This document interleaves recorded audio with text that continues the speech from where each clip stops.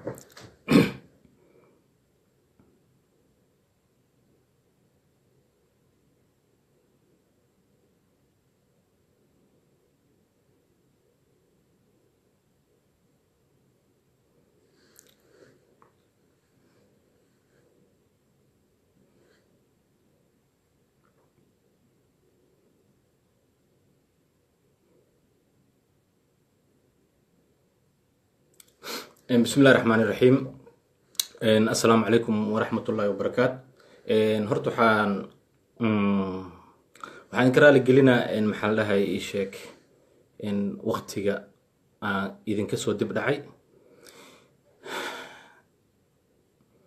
Dhammaantiin waa idin salaamay koley mm, waa la socotaan maxaa la dhahay isheeg shuruucda barnaamijka u yaallo barnaamijka ma ahan mid lagu ataagayo ama lagu weerarayo qof ama qolo soomaaliyeed.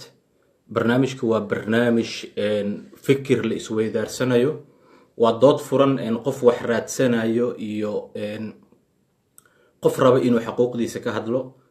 Waa dood u furan qof walba oo soomaaliya inuu ka qayb galo waa dood dad ay ku raadsanayaan xaquuqdooda sida ogsoonna xalay waxaan ka soo hadalnay mucaaradka iyo maaragtay muxaafidka. Caaw waxaan ka hadlaynaa cadaalad ayaa dhasho cadaalad. Sidee lagu helayaa xaquuqda gobolka banaadir. Malaayiinta dadka ah oo degan gobolkan oo xaqdarada tirsanayo sidee looga qancin karaa waxa ay raadinayaan in ay soomaali wada leeyihiin. Dalkana uu federaal yahay. Dooddeena waxay ku saabsan tahay marka gobolka banaadir. Haddii aad fikir qabtid haddii aad lahaanshihiisa rabtid inaad sheegatid haddii aad rabtid inaad difaacdid waxaa xor u tahay inaad fikirkaaga dhiibatid adigoo qolo iyo qabiilku xadgudbin waxaa mamnuuc ka ah barnaamijka shaksi inaad weerartid ama qabiil waa kaa bixinaa barnaamijka. Because bartaan anigaa iskale ma raba in qof looga gafo waxaan u mahad celinaa runtii lix iyo tobanka kun ama toddoba iyo tobanka kun oo xalay barnaamijkii aan sameynay daawatay. Taas waxay ii tahay sharaf in toddoba iyo toban kun qof oo soomaali ah uu gaaro fikraddii aan meeshaan ka baahinay annagoo aan cidna waxba u dhimeynin qabiilne aan ka sheekeynin. Waxaan aada ugu mahad celinaa boqol iyo siddeetankii qofood oo barnaamijka sheergareey oo saaxiibadood la wadaageen. Waxaan ahaa qofka keliya noloshiis intuu leef soo gala dhihin hala sheergareeyo because wax wanaagsan markaa la imaatid waxaan aaminsanahay in dadka ay saaxiibadood la wadaagayaan. Aadaa idinkaaga mahad celina ma raba inaan sii dheeraado waxaa rabaa inaan guda galo oo maaragtay dadka gacmaha soo taaganayo oo maaragtay barnaamijka ka qayb qaadanaya inaan soo qabto. Barnaamijkan waxaa ka qayb qaadan doono runtii rag badan oo miisaan ku leh soomaaliya. Sidoo kale dad badan oo miisaan ku leh bulshada soomaaliyeed oo maaragtay dalka dibaddiisa joogaan. Idinkaa arki doontaan waxaan jeclaan lahaa marka barnaamijka dooda gobolka banaadir. Dadka xaquuq ahaan rabo inay ka hadlaan sheegashada gobolka banaadir waxaan rabnaa inaan soo qabano runtii gabar muqdisho joogta kana mid ah. Dadka xaquuqda gobolka banaadir raadinayo waa dad magaaladii wax ku bartay ku soo koray ilaa iyo haddana dhex joogo.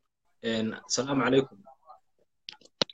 Wacalaykum asalaam abow caasharta waa ku salaamay marka hore waxaa toos ugu jirtaa barnaamijka cadaalad ayaa cadaalad dhasho because hadduu qof dulman yahay ma imaan karta cadaaladda waxaa laga hadlaya xaquuqda gobolka banaadir.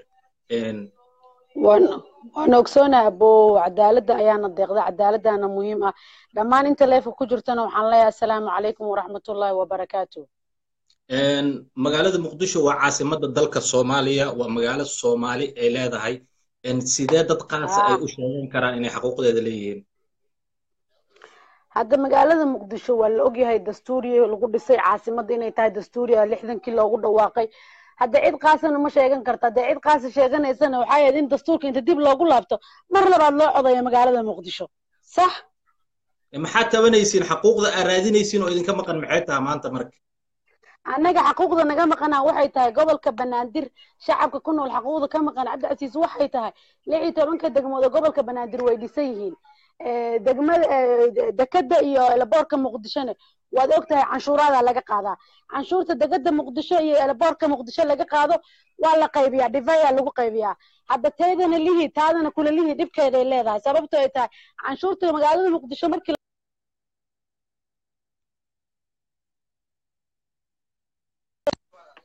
hallo way maqshaa malena? Hallo marka hadda waxaan ka cabanaynaa waxay tahay in canshuurteena inta gobollada kale loo qaybiyo.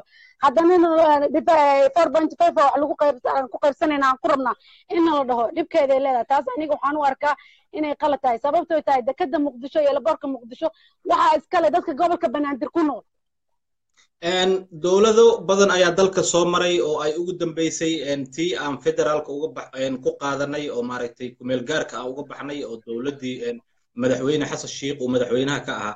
Maxaa ku soo beegay? Maanta markuu yimid maxamed cabdullaahi farmaajo inaa xaquuqda gobolka banaadir u doorataan ma la dhihi karaa qabiil ahaan ayaad madaxweynaha ku riixaysaan oo nabadda aa ka soo horjeedaan? Maya maya wax qabiila oo madaxweynaha lagu riixayo horta ma jirta abow aan kuu sheegay. Sababta madaxweynaha madaxweynaha madaxweyneyaala ka horreeyey xasan sheikha ka horreeyey shariiq sheekh axmeda ka horreeyey. Cidna lama eedi jirin cidna lama irtibo kori jirin mabtikoorka hadda yimid wuxuu yahay hadda waad ogtahay annaga waxaan qancaynaa. Markuu annaga salaad cali oo baayar ka noqdo dekadii ii sheeg dekadii oo boosaaso iyo dekada jubal kismaayo. Abo taadana lihi tayda kule taadana lihi taadana kule lihi taydana lihi waayo waxaan ka doonaynaa annaga xanuunka nagu hayo iyo dhibka maxay tahay siyaasiyiintii iyo maaragtay dadkii gobolkaas ka soo jeeday xaquuqda ay raadinaynin oo facebooka dhexdiisa laga raadinayo hadda xaquuqda facebooka dhexdiisa laga raadiyo horta dadka wixii facebook xaquuq ka raadinayo ayaga u tahay annaga xaquuqda annaga aan raadsanin cabdilcasiis waxay tahay aboobe dadka gobolka banaadir ku nool shacabka gobolka banaadir ku nool haddaan nahay waxaan u doodaynaa maqaamka iyo masamka gobolka banaadir. Sababto tahay annaga canshuur kalena nama soo gasho dekad kalena canshuur kama qaadana elboor kalena canshuur kama qaadan. Taynina waa nala taagan yahay oo waxaa la leeyahay dhibayaa loo qaybinaya taasna maaha mid aan qaadan karno. Mana aha madaxweynaha ku maltikoorayno wax mudaaharaad oo cabasho arrintaas la xiriiro ma ka samayseen magaalada muqdisho baaq ma u dirteen dowladda? Mise waxay ku kooban tahay inaad websaydyada iyo maaragtay facebookyada keliya aad ku soo qortaan cabashada? Maya maya maya baaq waa u dirna dowladda. Banaanbaxna weli kama samayn laakiin waan ka samaynayna waana ku raad joognaa. Sababta ay tahay annaga gobolka banaadir waxaa noo jooga guddoomiye gobolaan qabnaa. Waa sida u og tahay kaabid asaana laga rabaa xaquuqda gobolka banaadir. Sababto tahay annaga daabida madaxweyne noo eh asaa guddoomiyihii gobolka banaadir. Haddaan nahay shaqa shacabka ku nool gobolka banaadir todoba iyo tobanka degmo gobolka banaadir. Wakaaladiisa iyo wakiilkiisa waxaa laga rabaa inuu guddoomiyaha gobolka duqa magaalada muqdisho. Taabid uu qaado runtii caasho taabid waa nin ka bedelan guddoomiyeyaashii gobolka soo maray. Waa nin aad u shaqo badan dhalinyaro ah furfuran haddana rabitaanka shacabka kuma imaan oo xukuumadda aa ka cabanaysid ayaa soo magacawday oo meesha keentay. Maxaa tahay marka farqiga taabid iyo dowladda u dhexeeya? Hadda aan kuu sheega farqiga taabid iyo dowladda u dhexeeya horta waxay tahay aan kuu sheega daabid waad og tahay waddanka burbura qarax qaraxya badan sida qaraxii fourteen october oo kale dadaalka uu sameeyey dowladda ninka uga dadaalka badan uu ahaa madaxweynaha ma samayn ra'isul wasaarahana ma samayn taabid dadaalka uu sameeyey horta aan kuu sheegay. Second waxay tahay waxa anaga baaqa anaga hadda u dirayna wuxuu yahay in xaquuqda gobolka banaadir uu keeno daabid duqa magaalada muqdisho aan ka rabnaa.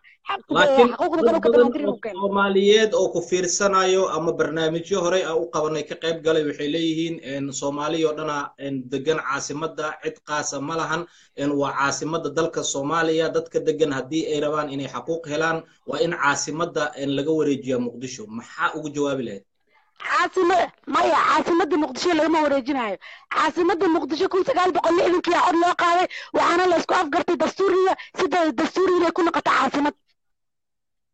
Hadda muqdishona dastuuriga ku dhisan tahay.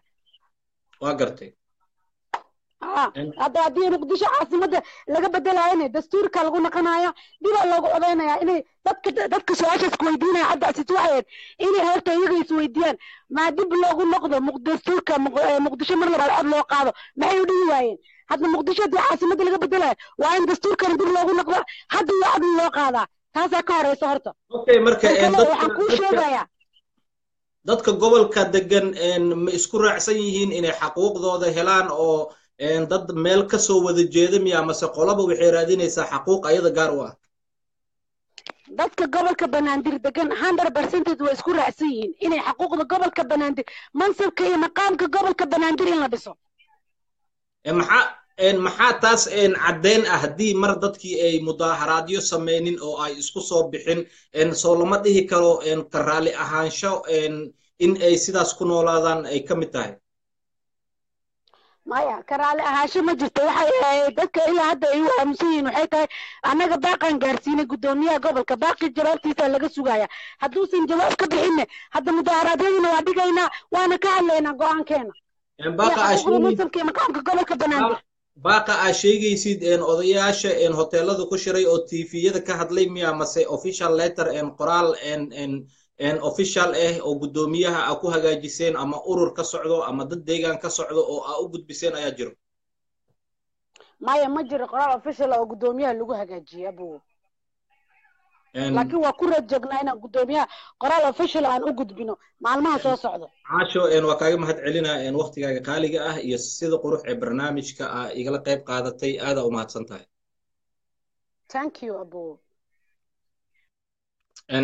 waxaan filaa qof kasta fikrad ahaan inuu xur u yahay in uu ka hadlo waxa uu xaquuq u leeyahay ama waxa uu raadinayo ma ahan qofka markuu xaquuqdiisa raadiyo in uu yahay qof xun ama qabiiliiste. Ma ahan qofka markii uu xaqiiqda uu ka hadla ama qofka wax sheeganayo uu dafara inuu asigana qabiil ku dafarayo. Dadka way u siman yihiin in ay dooda ka qayb galaan asigoo qof walbaba fikirkiisa ka hadlayo shuruucda dooda waxaa mamnuuc ka ah inaad shaksi ama qabiil aad ku xadgudubtid wixii fikir waa soo dhoweynaynaa imaanshihiina iyo ka qayb qaadashadiina waxay noo tahay sharaf gorgor waa ku soo qaban waayey magaalada muqdisho aad joogtaa waxaa ka mid tahay dadka raadinaya xaquuqda gobolka banaadir abwaanad jawaahira isku dayaynaa inaan soo qabano haddii ilaah uu raali ka noqdo. Okay cali najiib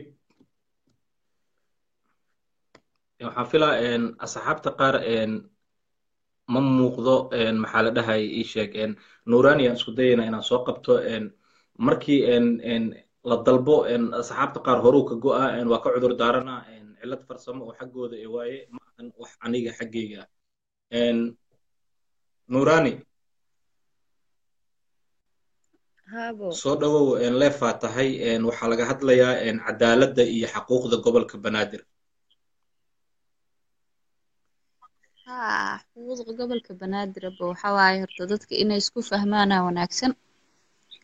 Gobol kasta caasimadda waxay leedahay golo deegaan wax la dhaho aa laga helaa. Magaalo walba waxay leedahay golo deegaan oo guddoomiyaha gobolka soo doorta yani iyadoo ay ka manaanayso guddoomiyaha gobolka wuxuu ku imaanaa doorasho ama rabitaan dadka deegaanka ah. Haa guddoomiyaha gobolka waa inay soo dhisaan xildhibaanadii golaha deegaanka xildhibaanada golaha deegaanka ee muqdisho marka la soo dhiso. Hadda ka hor xildhibaanada federaalka waad waad ogeyd qof walba deegaankiisaa laga soo door galmudug uu ka soo baxay jubbaland uu ka soo baxay hirshabelle uu ka soo baxay macnaha dadku waxaanay sas weyn u qaadin oo aysan dadku maroor dilaac uga qaadin. Justi waxaan rabnaa anaga ina dadka deegaanka xildhibaanii golaha deegaanka la soo dhiso. Marka la soo dhiso ay guddoomiyaha gobolka doortaan. Si madax bannaan ay caasimaddu markaasayto deegaankeeda iyo dakhligeeda iyo waxeeda iyo dhaqaalaheeda iyo ay iyada iskugu filnaato oo ay lahaatee ma aha inaan carqalad maamul goboleed iyo wax la jira la raadinayo abo. Dadka qaar waxay ku andacoonayaan magaalada muqdisho inay tahay magaalo dhiban islamarkaana dadka qaraxyada ama dhibaatada ka geysta ay ka imaadaan meel ka baxsan gobolka banaadir oo deegaan ahaan ay ka dhalanin gobolka banaadir waxay ku andacoodaan canshuurtoodii in gobollada soomaaliya loo qaybiyo carruurtoodii ay waxbarasho helin caafimaad helin ammaan helin dhibka ugu weyn dadka heesto uu yahay dadka banaadir degan haddana xaquuq ay laheen sidee kuu taabanaysaa muwaadin ahaan? Ma isleedahay cadaaladii ay dadka raadinayeen waa helayaan?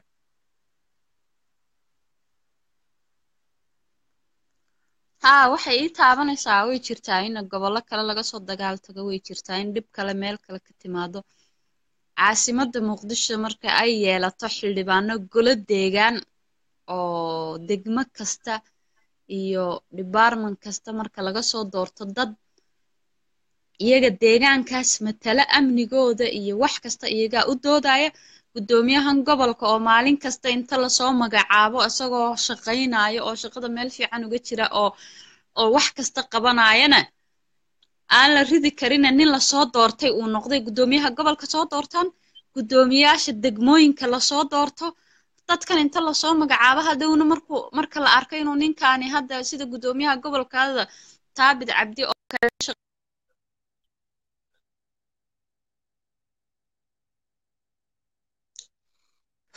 waa ka xunnahay abayo qadka wuu kaaga go'a anagoo dadka ma noqonin aada u mahadsan tihiin waxaan rabaa inaan la dardaarmo walaalaha maaragtay sabuuradda ku soo qoraya cayda ama aflagaadada. Ma ahan waxa meesha aan u joogno inaan iscayno ama qof uu qof ku xadgudbo. Waa in aan fikir kala qaadanaa ayadoo la isku xadgudbaynin. Haddii su'aal qabtid ama dooda inaad ka qayb qaadatid aad jeceshahay waa u fasaxan tahay.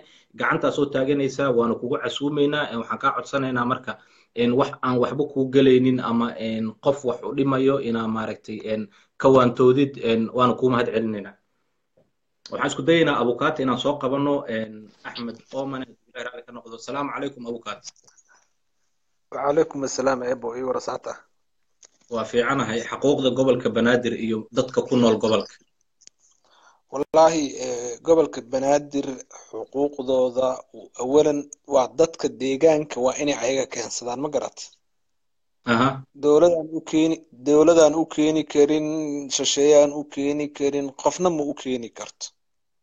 Waa garta abukaate waxaa ka mid tahay dhalinyarada soomaaliyeed waxbaa baratay dalkiiyaa joogtaa sidee kuu saameynaysaa marka in aada xaquuq yeelanin canshuurtii aad dhiibtid dowladdii goobtii ay ku shaqaynaysana uu yahay hoygii adiga aad ku dhalatay. Horta niyahow gobolka banaadir wuu dulal badan yahay ma garat horumar markaad aragtid waxaa keensan karaan bulshadu. Maanta shacabka hadday isku duubmaan hadday canshuurta baxshaan hadday nabadgelyada ka talshaan wax weliba wuu imaanayaa sooma aad iyo aad. Ganacsatadii haddee sabood garayso argagixisadii naagta nyaanyada gadaysay wiilkii bambada tuuraya bambada hadday u qariso waxba miskeenayo waa garta magaalada muqdisho waa waa caasimadii ummadda soomaaliyeed. Waa garta xuquuqna way leedahay oo dadka deegaanka degmo kasta qofta degan amba ku badan in baarlamaanka ay ka timaado waa waa garta laakiin haddii aan ku eedeyno dowladda federaalka aan ku eedeyno aan dhahno xuquuqdeena ayadaa haysato ayadaa diidan taa waa wax mala abaala oo danni ahoo aan shaksi ku dhibeyno waa ma garat danigana waa laga run yahay sidee xaquuqda dadkan raadinaya lagu heli karaa marka? Xaquuqda dadka waxaan ku heli karnaa nabadgelye in la helo waa gartay.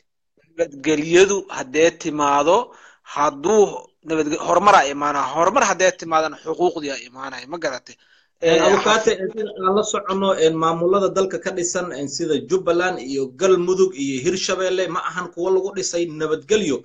Sida ogsoonahay jubbaland markii la dhisayey waa la isku dilay dhiig badana ku daatay dowladda waxay fidisay gogol dadkii isku haya lagu heshiisiinayo ilaa muqdisho ay yimaadaan qof kastoo soomaaliyeedna waa la socdaa ma la dhihi karaa marka nabad aan sugaynaa waxay la micno tahay xaquuq ma naga maqno. taa taa taa waxaa keeni karaan gobolka banaadir waa toddoba iyo toban degmo. Degmo kasto dhowr laani dhowr waaxay ka kooban tahay. Oda dhaqameedyaa joogaan oda dhaqameedyada deegaanka ka soo jeedaan haddee isku tagaan. Dhahaan degmo kasto dadka degan hala tira koobo nidaam ha loo suubiyo. Dadka waa inay guddoomiyaasha marka dambe soo doortaan. Haddee inta isku duubmaan ay fikir la yimaadaan dowladda kula yimaadaan fikirkooda waa loo tixgelinayaa abukate salaama waqtigaaga qaaliga ah waxaan jeclaan lahayn walaalaha kale inaan ugu faa'iideyno. Insha allah waa mahadsan tahay barnaamijyo kan lamidana waad igala qayb qaadan doontaa waa ku salaamaya waxaan isku dayaynaa abwaanad jawaahir inaan soo qabanno hadduu ilaahay raalli ka noqdo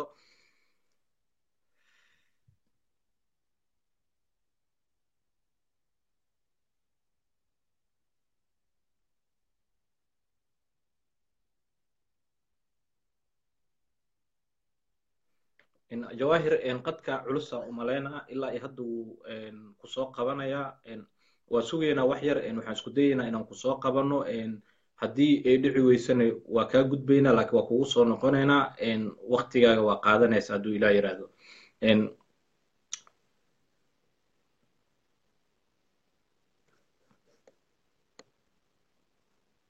Okay jawaahir waa kugu soo noqonaynaa waxaan isku dayaynaa gorgor inaan mar labaad ku laabano oo muqdisho joogo waxaan u malaynayaa in dooda n qofba siyuu u fahmay in maaragtay arrintan aan ka hadalno. Gorgor salaamu calaykum wacalaykum assalaam waraxmatullahi wabarakaatu abdicasiis kulmiye u salaamay. Waa mahadsan tahay waa kaa qaaday. Gorgor waxaan rabnaa inaan barnaamijka hore u galno maadaama wakti uu nahay waxaad ku sugan tahay muqdisho waxaad tihiin qolo group maaragtay reer muqdisho ah oo waddamada yurub qof xubina uu joogo. Waxaad leedihiin website lagu magacaabo banaadir. Maxaa idinku kalifay inaad dhaqdhaqaaq noocaas samaysaan? Ma la dhihi karaa xil raadis ayaa tihiin. Waa mahadsan tahay walaalkay kulmay. Marka hore waxaan rabaa inaan kaaga mahad celiyo waktigaaga qaaliga ah ee aad u hurtay dadka maaragtay degan maaragtay guud ahaan geyga soomaaliya gaar ahaan gobolka banaadir ood moodid in dhibaato fara badan ay ka jirto. Haddii aan u soo dhaadhaco su'aashaada jawaageeda runtii xil raadiskiis iyo xuquuq maqan raadiskeed waxaan filayaa inay tahay laba maaragtay waddo ay tahay. Annaga wax naga maqani waxawaaye waa xuquuqdii gobolka banaadir xaq baanu u leenahay. Dastuurka dalka wuu ku qoran yahay in xuquuqdii gobolka banaadir maaragtay la helo halgankeenu ma ahan xaquuqda kaa maqan maxay tahay haddii dowladdii soomaaliya ay degan tahay caasimadii muqdisho shaqadii adiga aa heshid safaaradihii dalka ay muqdisho ku yaaliin wixii shaqaale la qoraayo iyo qurxinta magaalada dadka deegaanka adigoo ah shaqo lagugu abuurayo maxaa kaa maqnaan kara marka waa mahadsan tahay. Sidaad og tahay dalka soomaaliya waxaa ka jiro dowlad leh laba gole. Golaha aqalka sare iyo golaha aqalka maaragtay shacabka. Magaalada muqdisho waa magaalada martigelisay dowladda soomaaliya. Waa magaalada martigelisay soomaali weyn. Ha ahaatee ha martigelisay ma lahan wax xuquuq ah amba state ah ee maaragtay ka dhisan. Ma lahan dastuurkiibuu ku qoran yahay dowladda soomaaliya way iska indhatiraysaa iyadoo adduunyada waxaa ka jiro si fiican ii fiiri adduunyada waxaa ka jiro gobolba gobolka uu ka canshuur badan yahay uu ka xuquuq badan yahay cabashadiisa la dhegeystaa waxawaaye si gooni ayay dowladaha dowladaha federaalka maarata systemka federaalka ku dhisan magaalada muqdisho saan ognahay canshuurta laga qaado waxaa laga sameeyey miisaaniya sanadeedkii dowladda dhexe ee soomaaliya waxaa loo qeybiyey stejyada ka dhisan puntland galmudug hirshabelle jubbaland iyo koonfur galbeed. Sababta ay ku weysay maaragta garan karo xuquuqdeedii inay hesho gobolka banaadir in statekii banaadir la dhiso in wakiiladii aqalka sare ku mateli lahaa dowladda soomaaliya ku mateli lahaa gobolka banaadir la helo. Waxaan ognahay gobolka banaadir canshuur ayaa laga qaadaa. Canshuurta laga qaado looguma dhiso iskuulaad looguma dhisin isbitaalaad looguma dhisin qaybaha kala duwan ee adeegyada bulshada dekadiinii iyo airportkeenii waxawaaye canshuurteedii waxay miisaaniyad u tahay dowladda dhexe ee soomaaliya. Dowladda dhexe markaa dhehaysid maxaa ula jeedaa? Dekada iyo airportka gobolka banaadir uu leeyahay. Gobolka waxaan ula jeedaa gobolka banaadir waxa maaragtay waa gobol ka mida gobollada soomaaliya. Hase ahaatee waxaa iska leh sida ay dadka kale ee gobollada u leeyihiin oo hargeysa oo kale dad baa iska leh berbera dad baa iska leh reer baa iska leh garooba reer baa iska leh meesha hirshabelle reer baa iska leh koonfur galbeed kuwaas ayay la mid tahay macnaha caasimada muqdisho iyo xuquuqdeedii statenimo kamaan helin iska dhaafay xuquuq aan ka helno iyo state ay dowladda dhexe ay noo dhisto. Meeshii cir laga sugaya ayaa ceryaamo ka timid ee soomaalida tiraahdaa magaalada muqdisho sidee sidee isku waafajinaysaa caasimadii dalka waaye iyo annagaa leh? Good. Caasimadii dalka waayey dalka soomaaliya ay ka mid tahay sida caasimadaha adduunka ay uga jiraan nidaamka stateka uga jiraan ayay caasimadan uga jiraysaa. Maraykanka ad og tahay stateyo waaye stateka waxaa laga tixgeliya waa ree dadka hadba ku badan maaragtay magaaladaasi waxaan kaloo rabaa inaan uga faa'iidaysto fursadani dowladda dhexe ee soomaaliya markii maxamed cabdullahi farmaajo madaxweynaha uu noqday dadka reer muqdisho waa la ogaa waqtiyadii ay soo baxeen inaysan habeen seexan maalin ay seexan inay aad ugu mashxaradeen ayagoo ku hanweynaa in xuquuqdii gobolka banaadir amba statekii gobolka banaadir in la helay ay ula mid ahayd. Hase ahaatee xuquuq aan helnay iska daayay waxaa nagu dhacay in gobolka banaadir degmooyinkiisii loo dhiibo dad ka soo jeedo stateyo kale loo dhiibo iyadoo dadkii maaragtay ka soo jeeda gobolka banaadir ay joogaan. Sidaan ognahay degmooyinka waxaa ka mid a degmada cabdicasiis nin ka soo jeeda puntland ayaa wuxuu ka yahay guddoomiye degme ka yahay. Degmada dharkinley nin ka soo jeedo ka soo jeedo mathalan cabudwaq amba maaragtay deegaanadaas ka soo jeedo ayaa wuxuu ka yahay guddoomiye degme aaway nidaamkii systemkii federaalka aaway. Aaway systemkii maaragtay qof walba goofkeeda iyo geedkeeda ayay waxay ka naqanaysaa ay ka dowleynaysaa ahay aaway. Maxaan ku weyne waxa soo socda aan u qof kastoo asiga ayaa laga rabaa inuu xaquuqdiisa u doodo sidaan ogsoonnahay laba iyo labaatankii bishii laba iyo tobanaad maamul goboleedyada waxay soo saareen waraaqad waraaqadaas oo ay ku dalbanayaan xitaa isboortiga soomaaliya in loo qaybiyo marka dadka banaadir degan ma la dhihi karaa ayaga isxaqiray dowladdii ma la xisaabtamin ma mudaharaadin waxay raalli ka yihiin in maaragtay dowladda halkooda ay deganaato caasimada dalka ay sii ahaato ayagana shaqo loo abuuro waa mahadsan tahay ma ahan waxaan ka hadlayno in caasimada laga raro maaragtay dowladda dhexe ee soomaaliya. Waxaan ka hadlaynaa waxa weeye caasimada waa dalka caasimadii dalka soomaaliya way tahay. Ha ahaato waxaa iska leh oo ku magacaaban reer ayaa ku magacaaban. Xuquuq ayay ku leedahay dowladda dhexe metel ay ku leedahay. In metelkaasi ay hesho aya waaye waxaan ka cabanayna markii hadda degmooyinkii gobolka banaadir qaybo ka mida loo qeybshay isteedyada maaragtay aan aniga ka naqan karin guddoomiye xaafadeed aanan ka naqan karin sida puntland oo kale kama naqan kara aniga xaafad ka mida degmo degmada degmooyinka maaragtay amba garoob oo kale xaafad ka mida xuquuqa kuma yeelan kara kumana lihi. Muqdishona waxay ku yeesheen xuquuq. Guddoomiyaha gobolka waxaan rabaa inaan maaragtay aan aan sheego walaalkay taabit taabit waa guddoomiyihii gobolka. Waa maaragtay ma dhaliilsanin hase ahaatee waxaad waxaan aad uga digayaa arrinta ah in maanta haddii uu ogolaaday in puntland iyo gobollo kale oo naga aad nooga fog fog magaalada muqdisho xuquuq laga siiyo berri inay ku soo socoto ninka xigo haddii labadan degmo la dhiibay laga dhidhi waayo oo xuquuqdii loo qeylin waayo inay ku soo xigto ninka xigo inuu naqon doono nin ka soo jeedo hargeysa amba ka soo jeedo boosaaso amba ka soo jeedo maaragtay magaalooyinka kale maaragtay sida kismaayo runtii aniga meelaan wax ka naqan karin in maaragtay dadkeedii ay ay ay wax ka naqdaan waa nasiib daran u arkaa waxaan maaragtay aad maaragtay ugu bogaadinayaa mas'uuliyiinta ka soo jeedo gobolka banaadir ka aamusan inay aad u kacaan. Waxaan kaloo rabaa inaan fursaddan uga faa'iidaysto waxaan maaragtay nahay team website la yidhaaho banaadir state ayaanu leenahay. Waxaanu ku sugannahay gobolka banaadir iyo guud ahaan qaaradaha adduunka maraykanka yurub iyo maaragtay africa inta waa ku sugannahay.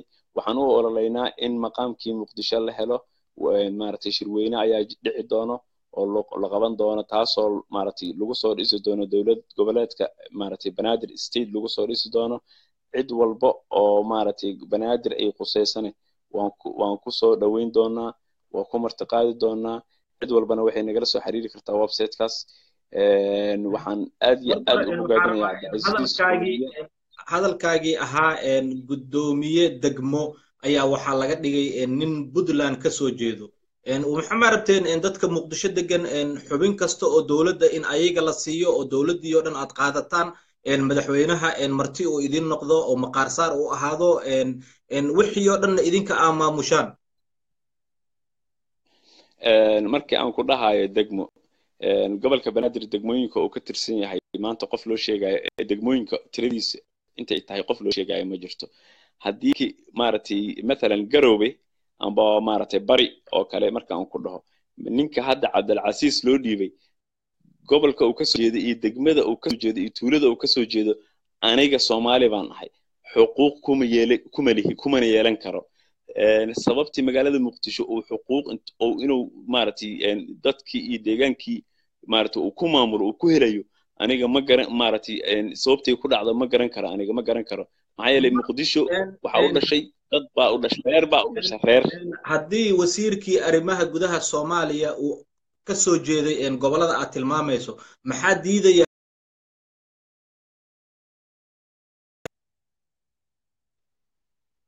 waa ka xunnahay gorgor waxaan u malaynaa qolyaha maaragtay xaquuqda gobolka banaadir kasoo horjeedo ayaa qadka kala baxay waa ku soo celinaynaa laakiin gorgor insha allah hadduu ilaahay raalli ka noqdo waxaan isku dayaynaa yaasiin maxamed inaan soo qabanno yaasiin waxaan isku dayaynaa inaan soo qabanno waxaan filaa qolyaha hadda aan soo qabtay inuu ka fikir duwan yahay yaasiin salaamu calaykum وعليكم السلام وأبو سلام يا عبد العزيز برنامج كذا آدي آد مدامين بدن بعد دقيستي waa mahadsan tahay si fiican si fiican waa barnaamij aan wada sugaynay xuquuqda gobolka banaadir maadaama aan nahay dadka banaadir u dhashay waxa waaye qofka bini aadanka wuxuunan xaqiri karinaa jirto.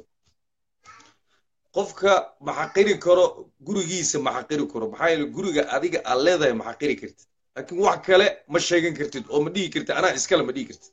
Waa gartay aniga hadda inaan baxo aniga hadda inaan baxo afgooyna ma aadi karo ma dhihi karo kursiyaan ku leh ma bixi karo oo ma dhihi karo puntland guri maba aqaanabo oo maxaa weligay ma aan tegin ma ku soo korin laakiin dad walaalahay soomaali ayaa degan oo federal oo naga dhexeeyo dadkana caawa waxaan u sheegayaa horta dadku inay laba kala fahmaan waa shalay waxaan ku jirnay xukun soomaali oo dhan ka wada dhexeeyo kamboni ilaa ras caseer u dhexeeyo oo maamul aan kala lahayn nin muqdisho jooga ayaa waxaa lagu qori jiray hargeysa kan hargeysa joogaa muqdisho la keeni jiray. Maanta ma jirtaa wa horta dadkuna isweydiiyaan nidaamkaas waa u dhammaatay. Soomaali waxay ku kala baxday federaal soomaali waxay ku kala baxday federaal federaalka micnihiisa qofka waa inuu fahmaa. Annaga federaal annagoo muqdisho joogno ma doondoonan federaal ma raadinin dhibka uu leeyahay waa ogeen waa nala keenay. Federaalkiyaa nala keenay maadaama federaalkii nala dhex keenay federaalka marka waa in si cadaalada loogu dhaqmaa. Xasan cali khayre magaaladu u dhashay wuxuu ku fadhiyaa magaciigu ku fadhiyaa. Qofku inuu horta wax la xaqira maaha taabit magaaladu u dhashay gobolka banaadir anoo igu matala.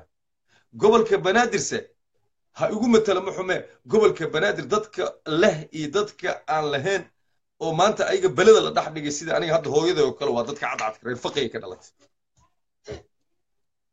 Budishon ayaga hataa uqdadaa gashay laakiin waxaa ka maqan sidii siyaasigoodii iyo siyaasiga gobolku u dhashay degmooyinkii iyo dadka la wada leeyahay in ay tashtaan maamulkooga ayaga ay u tashtaan. Laakiin ma aha in ayaga bele loo sii abuuro oo dhibka la sii horciyo maadaama aad dhehaysid guddoomiyihii gobolka banaadir magacaygu ku fadhiya anigu imatalaa xaquuqda aad raadinaysid maxay tahay marka waaba haysataa xaquuqdaada xuquuqda aan raadinaya aan ku sheego ma kuu diidani gobolkuu ku fadhiyaa gobolkuu u dhashay. Xuquuqda aan raadinayo waxa waaye gobolka cadaalad ma loo xulay gobolka banaadir. Horta haddayna cadaalad jirin wax soco maayo maanta wax meeshaana dhiga cadaalad darro gobolka banaadir xaquuqdiisa dhabta ah ma la xulay gobolka yaa u dhashay muxuu ka koobmaa xubno ma leey aniga xildhibaan kuma leh. Aaw gobolka banaadir xildhibaan ma lee ma haysaa gobolka banaadir aniga xildhibaan i matala ma lee aniga guddoomiye qolof keliya ay taagan. May shalay waa ogeed markii maamulada ay fadhiisteen waa tii la yidhi adigu ma tihid maamul goboleed ma tihid senatoraa taali okay markii shalay ninka reerkaaga ah oo gobolka banaadir ka soo jeedo shalay markuu xilka hayay xaquuqda aadan raadin jirin oo maanta aa raadinaysid maxay tahay marka? Wallaahi adiga walaalkay jecel cabdicasiis arrintan xasan sheekh waa soo socotay dowladdii shariifka waa soo socotay. Intaas waxaan raadinayna adiga maadaama reer muqdisho aan nahay soomalinan xal ha loo helo maadaama federal lagu kala baxayna federaalkiina hela ayaan taagnay maxaa yeelay adiga maanta aniga cabdicasiis gobolkan u dhashay walaalkay wixii cadkii gooy. Anigu maanta ma intaan baxo degmada balcad wax ma u doonan karo. Intaan baxo aniga afgooy wax ma u doonan karo. Waxaa gobolkiina waa ku qadsana. Xildhibaan ma qabi. Meel aan u dooda ma lihi. Gobolka banaadir ma guddoomiyaha gobolka banaadir keliya oo for example ma imatalay cabdicasiis waxa waaye wax walba in la matelo oo akhliyana la rabaa dadku walaalka inay wax isku ogolaan oo xaqiiqda la taabtaa la rabaa. Annaga ma rabno madaxweynaha ma diidanin dowladdu waa raacsannahay waa ogolnahay kursi dowladeed ma haysto. Haddii marka ay sida tahay caasimadda gobol qaadan kara ii sheeg caasimadda hala raree ha la geeyo meel kale. Laakiin gobolka banaadir ma rarmayo. Caasimadda hala rara meel kale ha la geeyo. Ninka qaadanayo gobolkaas dad kalea kula lahaanaya caasimadda waa ahaanaysa ha la raro soomaalina haku ha ku raysatay ha la sameeyo. Yaasiin aad maxaa yeele laagosbo laagosbo maya raalli ahow laagosbo waa la raray. Laagos caasimadda waa laga raro abuja loo raray. Maanta laagos dagaal maa ka jiro. Dadkii laagosaa sheeganaya caasimadda mar walba rarmi kartaa laakiin localka dadka u dhashay ee la xaqiraya ayaan diidaynaa anaga localkii aan nahay yaasiin meel kale uma tegi meel kale uma bixi meel kale uma bixi karno. Yaasiin aad iyo waa aad in u qofka tahay. yaa aad iyo aada u mahadsan maya tusaale kalaan kugu daraa maya tusaale kalaan kugu daraya walaalkay shalay kismaayo waa ogeed banaanbaxyay aa la sameeyey waa la dooday. Waa tii xasan sheekh america mudaaharaad loogu sameeyey waa qaateen. Mhm. anigu ma haddaan uqdad qabo waa dhihi kare kismaayo dad baa dego waa dhihi kare. Waxaan diidaa nin soomaaliyeed aa qaatay qof walaal aa qaatay. Maxaa aniga marka gobolka banaadir xuquuqdiisa aan leeyahay iyo dadkii ila degan dhibaatada loo dhex abuuraya oo dhibka loogu horseedaya taasaan ku weydiinaya cabdicasiis yaasiin dadka gobolka banaadir degan iskuma waafaqsano dhammaan inay xaquuq ka maqan tahay. Dadka siday u badan yihiin eh, waxay taageersan yihiin dowladooda barakaysan waxayna diyaar u yihiin dowladda inay la shaqeeyaan. Dadkiina qurba joogta ah oo ceerta qaato idinka ayaa rabo inaad qaranka dumisaan sidee u aragtaa dadaa fikirkaas aaminsan? Wallahi cabdicasiis waxaas waa been. Hadda naftirkeeda banaanbaxan qabrabna isvisor oo ka dhaca magaalada bern oo ka dhaca. Anigu baan kuu sheegi maayo waxaa guddoomiyaha ururka haweenka caasho jilicow dad badan oo mas'uuliyiin walaalahayga kulliyaa wadaan wuxuuna ka dhici doonaa gobolka bana arrinta looga hadlayo gobolka banaadir mar dhowna waa arki doontaa magaalada bernow ka dhacaya. Dadku waxa waaye inay wax fahmaan inay marka xaquuqda gobolka banaadir inay maqan tahay maxaa dadkoo dhan ka wada oysiye laakiin ma aha inaad tiraahdaan inaad waxyaabo yaryar aad soo qabataan aad dhahda ma dad xuquuqdooda maqanaan nahay gobolkii banaadir for example inuu qolof noo taagnaado annaga marnaba yeeli mayno taasaan ku dhihi lahaa cabdicasiis waa mahadsan tahay yaasiin aad iyo aad ayaan kaaga mahad celinayaa waxaan jeclaan lahaa walaashay aamino muuse wehliye oo maaragtay en, rog caddaa wariye ah. Ayaa barnaamijka caawa igala qayb galayso. Waxaan jeclaan lahaa aamina haddii ay imaqasho inay wax soo qorto gacanta soo taagto si aan u arko wayna mahadsan tahay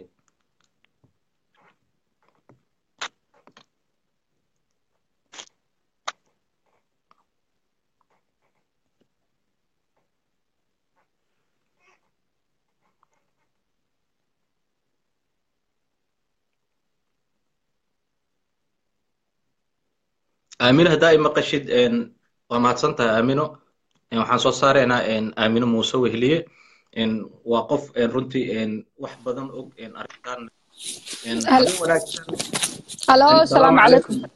wacalaykum asalaam ah, sharafe ii tahay inaa barnaamijkan quruxda badan oo xaquuqda gobolka banaadir looga doodayo igala soo qayb gashid runtii saxafiyiinta in lagu daysado mudan oo dadaalkana ugu jiro inay raadiyaan xaquuqda dumarka iyo dulmanahana waad ka mid tahay. Maadaama gobolkii banaadir aa ka soo jeedid sidee kuu saameynaysaa een, in cadaalad la raadiyo cadaaladna maamulkii dalka uusan ku dhisnayn? Waa mahadsan tahay cabdicasiis marka hore may maqlaysaan. Horta codkayga okay ma yahay waa lagu okay maqlaa alright waa mahadsan tahay horta qodobkan waa qodob xasaasi ah haddana muhiim ah. Haddana doodiisu wax badan ay soo jiitantay. Waxaan u kala qaadayaa marka laba arrimood doodayda haddii waqtiga ii saamaxo. Labada arrimood oo u kala qaadaya waxa waaye caasimad maxay tahay horta? Iyo caasimad ahaanshaha maxaa ku ansaxaaya maxaana ku dhumaaya Mhm. tusaalooyinna waa soo qabsan doonaa. Mhm. horta xamar waxaan u malaynayaa dad iga waaweynna waa ku jiraan facebook laakiin dhallinyarada badankood anaa ka- weyn oo adigu kow ka tahay oo kaa dhalin badan. Xamar meeri markaan dhalanayay iyo markii soomaaliya xornimada la siiyo ee caasimad ahayd haddana waddankii xukunkii militariga ee maxamed siyaad barre caasimadaha waa badnaayeen. Xamar waxay ahayd caasimadda oo capitalka oo weynay ahayd hargeysa waxay ahayd caasimadda labaad. Mhm. kismaayo iyo baydhabo say u kala horreeyeen ma xasuusto laakiin midna waxay ahayd caasimadda saddexaad midna waxay ahayd caasimadda afraad. Mhm. maadaama hadda aan noqonnay dad soo qaxay oo adduunka ku kala faafsan maskaxdayadu ay hadda furfurnaatay adduunka oo dhan waxa waaye caasimadaha waddamada waa la qaybiyaa. Haddii Mhm. caasimad laga dhigo caasimadda warshadaha ta kale waxaa laga dhigaa caasimadda ganacsiga. Midda kale waxaa laga dhigaa mar caasi- mar caasimadda dalxiiska. Marka horta caasimadihii horta in la ballaariyo way wanaagsaneyd oo maanta sida jiqla isugu yaalla isuguma ahaan lahayn. Mhm. ta kaleeto waxaa waaye waa runtaa aniga waa ku dhasha caasimadda horta ma aaminsani inaan dadka kale uga xaq leeyahay. Aniga aamina ahaan ilaan qof walba shaksiyaduu leeyahay ma aaminsani. Laakiin haddana waxaan aaminsanahay anigu inaan xuquuq leeyahay xuquuqda aan leeyahana aan xaq u leeyahay inaan helo. Oo aniga markaan leeyahay aamina ahaan uma hadlaayo. Laakiin dadka anoo kale ayaan ka hadlayaa. Waa okay. Aniga marka waxaan tusaale u soo qaadanaa sida ugu sahlan oo loo fahmi karo. Aniga aabbahay iyo awoowahay sida aan ugu kala xaq duwannahay xamar Mhm. ma horta lahaanshaha dhulka lahaanshaha dhulka magaalada muqdisho iyo magaalo kasta oo waddankeenna ku yaallaba ma ahan maxay ahayd tooney wax la yidhaha free hold ma jiro. Freehold iyo leasehold waxaan ku kala barannay halkan. Soomaaliyana talyaaniya isticmaali jirnay waxaan dhihi jirnay eh, waxaan dhihi jirnay obosiibo iyo damanyaale. Obosiibo waa meesha aad degan tahay laakiin aad kumeel gaarka tahay. Damanyaalena waxaa waaye meesha aad adigu leedahay oo aad asal u leedahay hadhow haddaa dhimatana lagaa dhexlaayo. Marka horta magaalo oo freehold ah ma jirto. Oo waa tii shiribkii la shirbay. Anigu cid shiribta ma garanaye lagu yiri dhulka dadka wow dhaxays dhiishaasa ninba meel dhigtaa wuxuu ahaa allaha u naxariistay abwaan faarax seyfey faarax seefey waa kaas. Faarax seefey allaha u naxariisto wuxuu yidhi dhulka dadka wow dhaxays dhiishaasa ninba meel dhigtaa waxaa laga wadaa dadku adduunka iyo dhulkao dhan waa wada leeyahay. Laakiin qof walbaba dhiishiisa ayaa meel taalla waa runtaahoo qof cirka ka soo dhacayna ma jirto oo dadku kuuley cali banjar ma aha. Annaga reer xamaraan nahay kuuley cali banjaraan ka saynaa waa bahashii oo xidigaha lahayd. Xidig dhulna waa la dhahaa. Waxaa la arki jira lee bas meelay ka soo baxda ma taqaanid? Habeenkii iyadoon oo dhalaalaysa leed arkee soo marka dadku horta kuuley cali banjar ma ahan oo cirka kama soo dhacaan. Cisalna maaha oo caws maaha oo dhulka kama soo dhashaan. Dadka waxay ka dhashaan tagoog aabe iyo ugxan hooyo oo isu tegay. Tabaag aabe iyo ugxan hooyana waxaa imaanaysa in qof walbaba meel dhulka ka degan yahay. Mhm. aniga oo raba marka inaan hadalka akhlaaqdiisa ilaaliyo oo aan ka bixin mux- aniga maxay ahayd toona hadal aan ii qalminna inaan ku hadla iska ilaalinaya. Ayaa marka waxaan rabaa inaan ballaariyo eh, iishuwigan ama waxaan laysku haysto. Mm. hadda aniga oo kale aabbaha awoowahay weheliya cadow jinaqow wuxuu ku dhasha ceel baraf. Mhm. oo shabeellaha dhexe ka tirsan. Dhexe hir shabeelle haddeerow noqday. Horta waxa hadda la wadoo dhanba waaba ku wareeray horta iga daaba waa u soo noqonaya. Waa ku wareeray horta xagga iga dhig. Waa dhamaatay shabeellaha dhexe ku dhashay awowga sug aabbahay marka cadow haddii uu ku dhashay ceel baraf oo shabeellaha dhexe ah aabbahay muuse weheliya cadow oo asaga ou dhalo wiilkiisa ahaa wuxuu ku dhashay mahadaay adeerkay faarax weheliya cadow allaha u naxariistay oo asaga ka weynaana afarta tuulow ku dhashay. Mhm. fiiri kolba wa- kolba waa la soo dhawaanaya fiiriya waa waa la soo aabbahay wuxuu ku dhashay mahadaay aniga marka waxaan ku dhashay xamar isbitaal martini okay. Aniga marka iyo aabbahay iyo awowgay haddii maskixiyan mentalitiga sida hadda loo fikiraayo loo fiiriyo aabbahay iyo awowgay aniga oo biyahoodii ka dhashay oo faracoodii ah ayaan kaga xaq badinayaa xamar. Sababtu waxa ay tahay dadkii xamar loo tirinayana waa ahay. Waana ku dhashay xamar. Waa ku dhashay waana ka dhashay. Hadda ka hor turkiga markii nala geeyey waxaan ka doodnay qodobka ah maxaa loo fiirinayaa? Ma ku dhashay? Mase ka dhashay? Marka Mhm. federaalka hadda waxa waaye shirka federaal lagu diyaarinayay dowladda federaalka ah. Anaa dadka ka qayb galan ku jira? Oo dowladda turkiga wasaaradda arrimaha dibadda ay ay maxay to casuuntay waxaa lagu dooday ma waxaa loo fiirinayaa ku dhashay? Mase Mhm. waxaa loo fiirinayaa ka dhashay? Okay marka hadday noqoto ku dhashay iyo ka dhashay aniga aamine ee labadaba waa ahay. Laakiin aabbahay allaha u naxariisto muuse weheliya cadow wuxuu ahaa u dhashay. Kuma dhalan magaalada. U wuxuu dhashay. ahaa u dhashay. Soo maaha okay Wax. haddana aniga oo sidaas ah ayaa waxaa jooga dad aniga abtirsiiyo aan isku abtirsanno oo iiga sii xaq le magaalada. Dadka waaye horta qofku inuu run sheego ay xaqa xaqa laguu sheegayo waxaa ugu horreeya inaad kalaam runa sheegto. Xaqdarrana waxaa ugu horreeya inaad kalaam beena sheegto. Waayo hadalka ayaa ficilku ka dambeeya. Ficilkaa dambeeya mar kasta. Hadalka ayaa horreeya midda kaleeto. Hadda xaaladda aanu joogno waana duruuf baa naga dhigta soo maaha in hirshabeelle iyo puntland iyo somaliland oo waaba goostay tiri iyo maxay ahayd toone ee koonfur galbeed inaan kala noqonno maxaa keenay? Waxaa keenay xaalad soo maaha xaaladaasina maxay ku timid waxay ku timid in qof walbaba uu cadaalad darro tirsado Mhm. okay cadaalad darrada marka cadaalad darrada marka xagee laga bilaabaa. Aniga waxaan xasuustaa aniga aaminaa ayaa waxaan xasuustaa iyada oo dadka xamar la sii ballaarinaayo oo degmooyinka yaakshiid iyo kaaraan aniga anoo nool ay dhismeen. Anoo nool adduunka jooga ay dhismeen.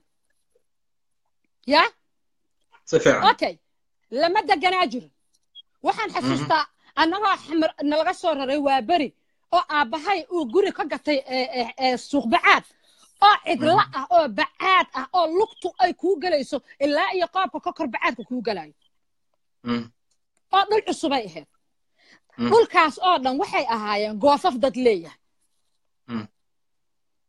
goofaf dad leeyahay ayay ahaayeen hogaamiyaha xisbiga ucid dadka badana inay saas u fahamsan yihiin in kale ma aqaan.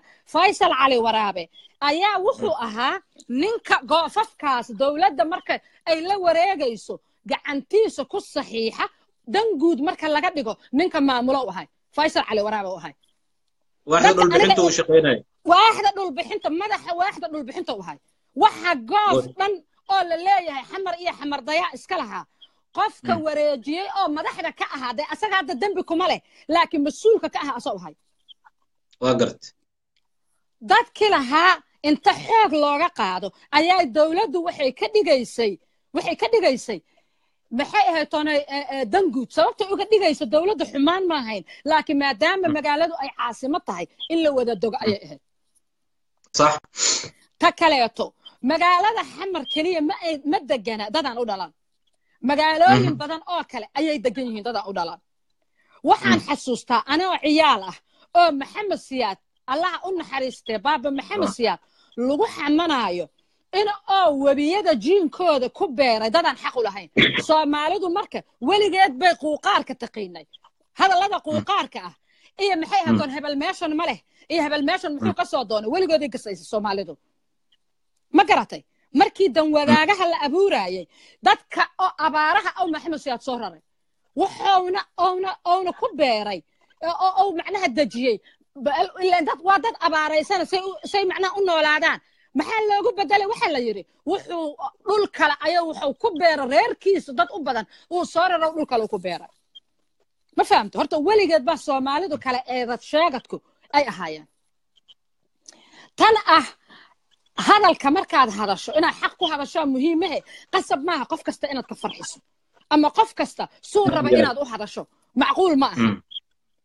ma garatay? Aniga hadda xamar haddaan tago waxaan hubaa inaan marti ka noqonayo. Aniga ayaa markaan aan tago xamar haddii gurigaygu burbursan yahay ama aan ka baqaayo inaan gurigayga tago oo aan rabo inaan hotel kiraysto anaa laydhahaa waxaa keentaa qofku damiinato waxaa laga yaabaa qof xamar soo galay. Intaan aniga qurbaha ku soo maqnaay inuu aniga i damiinto. Maxaa keenay? Waxaa keenay?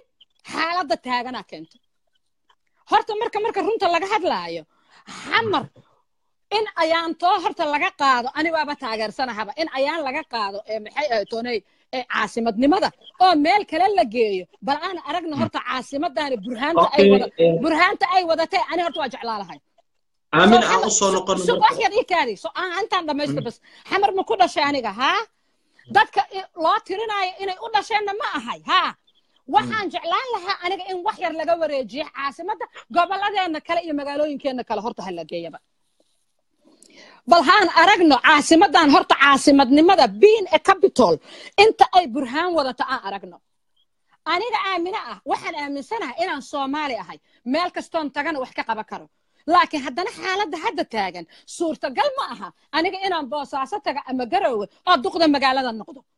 Aan runtii isu sheegno inaan inta baxo kismaayo tago oon duqda magaalada ka noqdo suurtagal ma aha. Waxaana suurtagal ka dhigaynin xaaladda hadda taaganaan ka dhigaynin.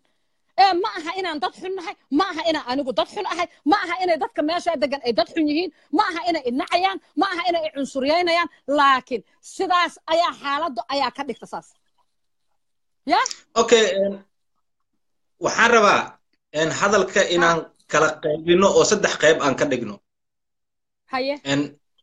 Cadaalad aa la raadinaa oo waddanka inuu waddan cadaalad ka jirto dowlad leh noqdaa la rabaa dadka banaadir deganna xaquuq ma lahan waa qodob koobaad dalku waa federaal anigu keygaan leeyahay adigana kaaga waan kula leeyahay waa mid labaad.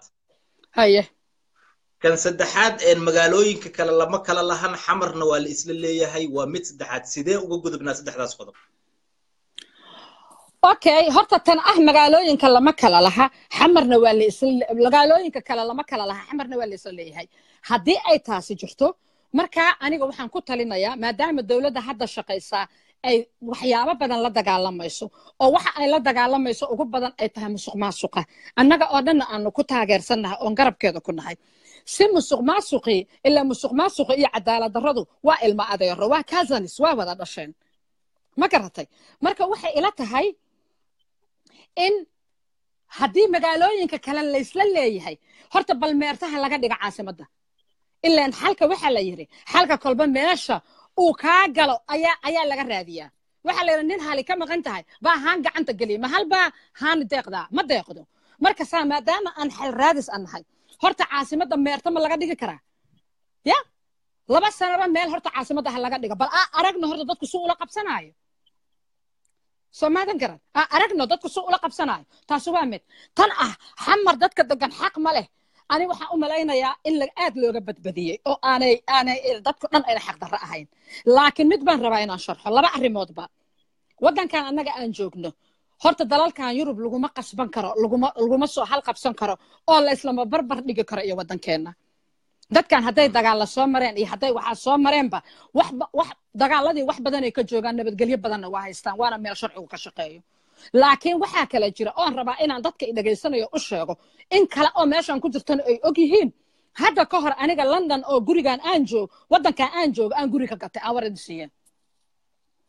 guriga london aan ka gatay xaafad balastow la yiraahaan ka gatay oo east london ku taalla bariga london ku taalla guriga markaan gadanayay waxaa la ii sheegay inuu free hold yahay free hold maxaa laga wadaa damanyaale inaa adiga leedahay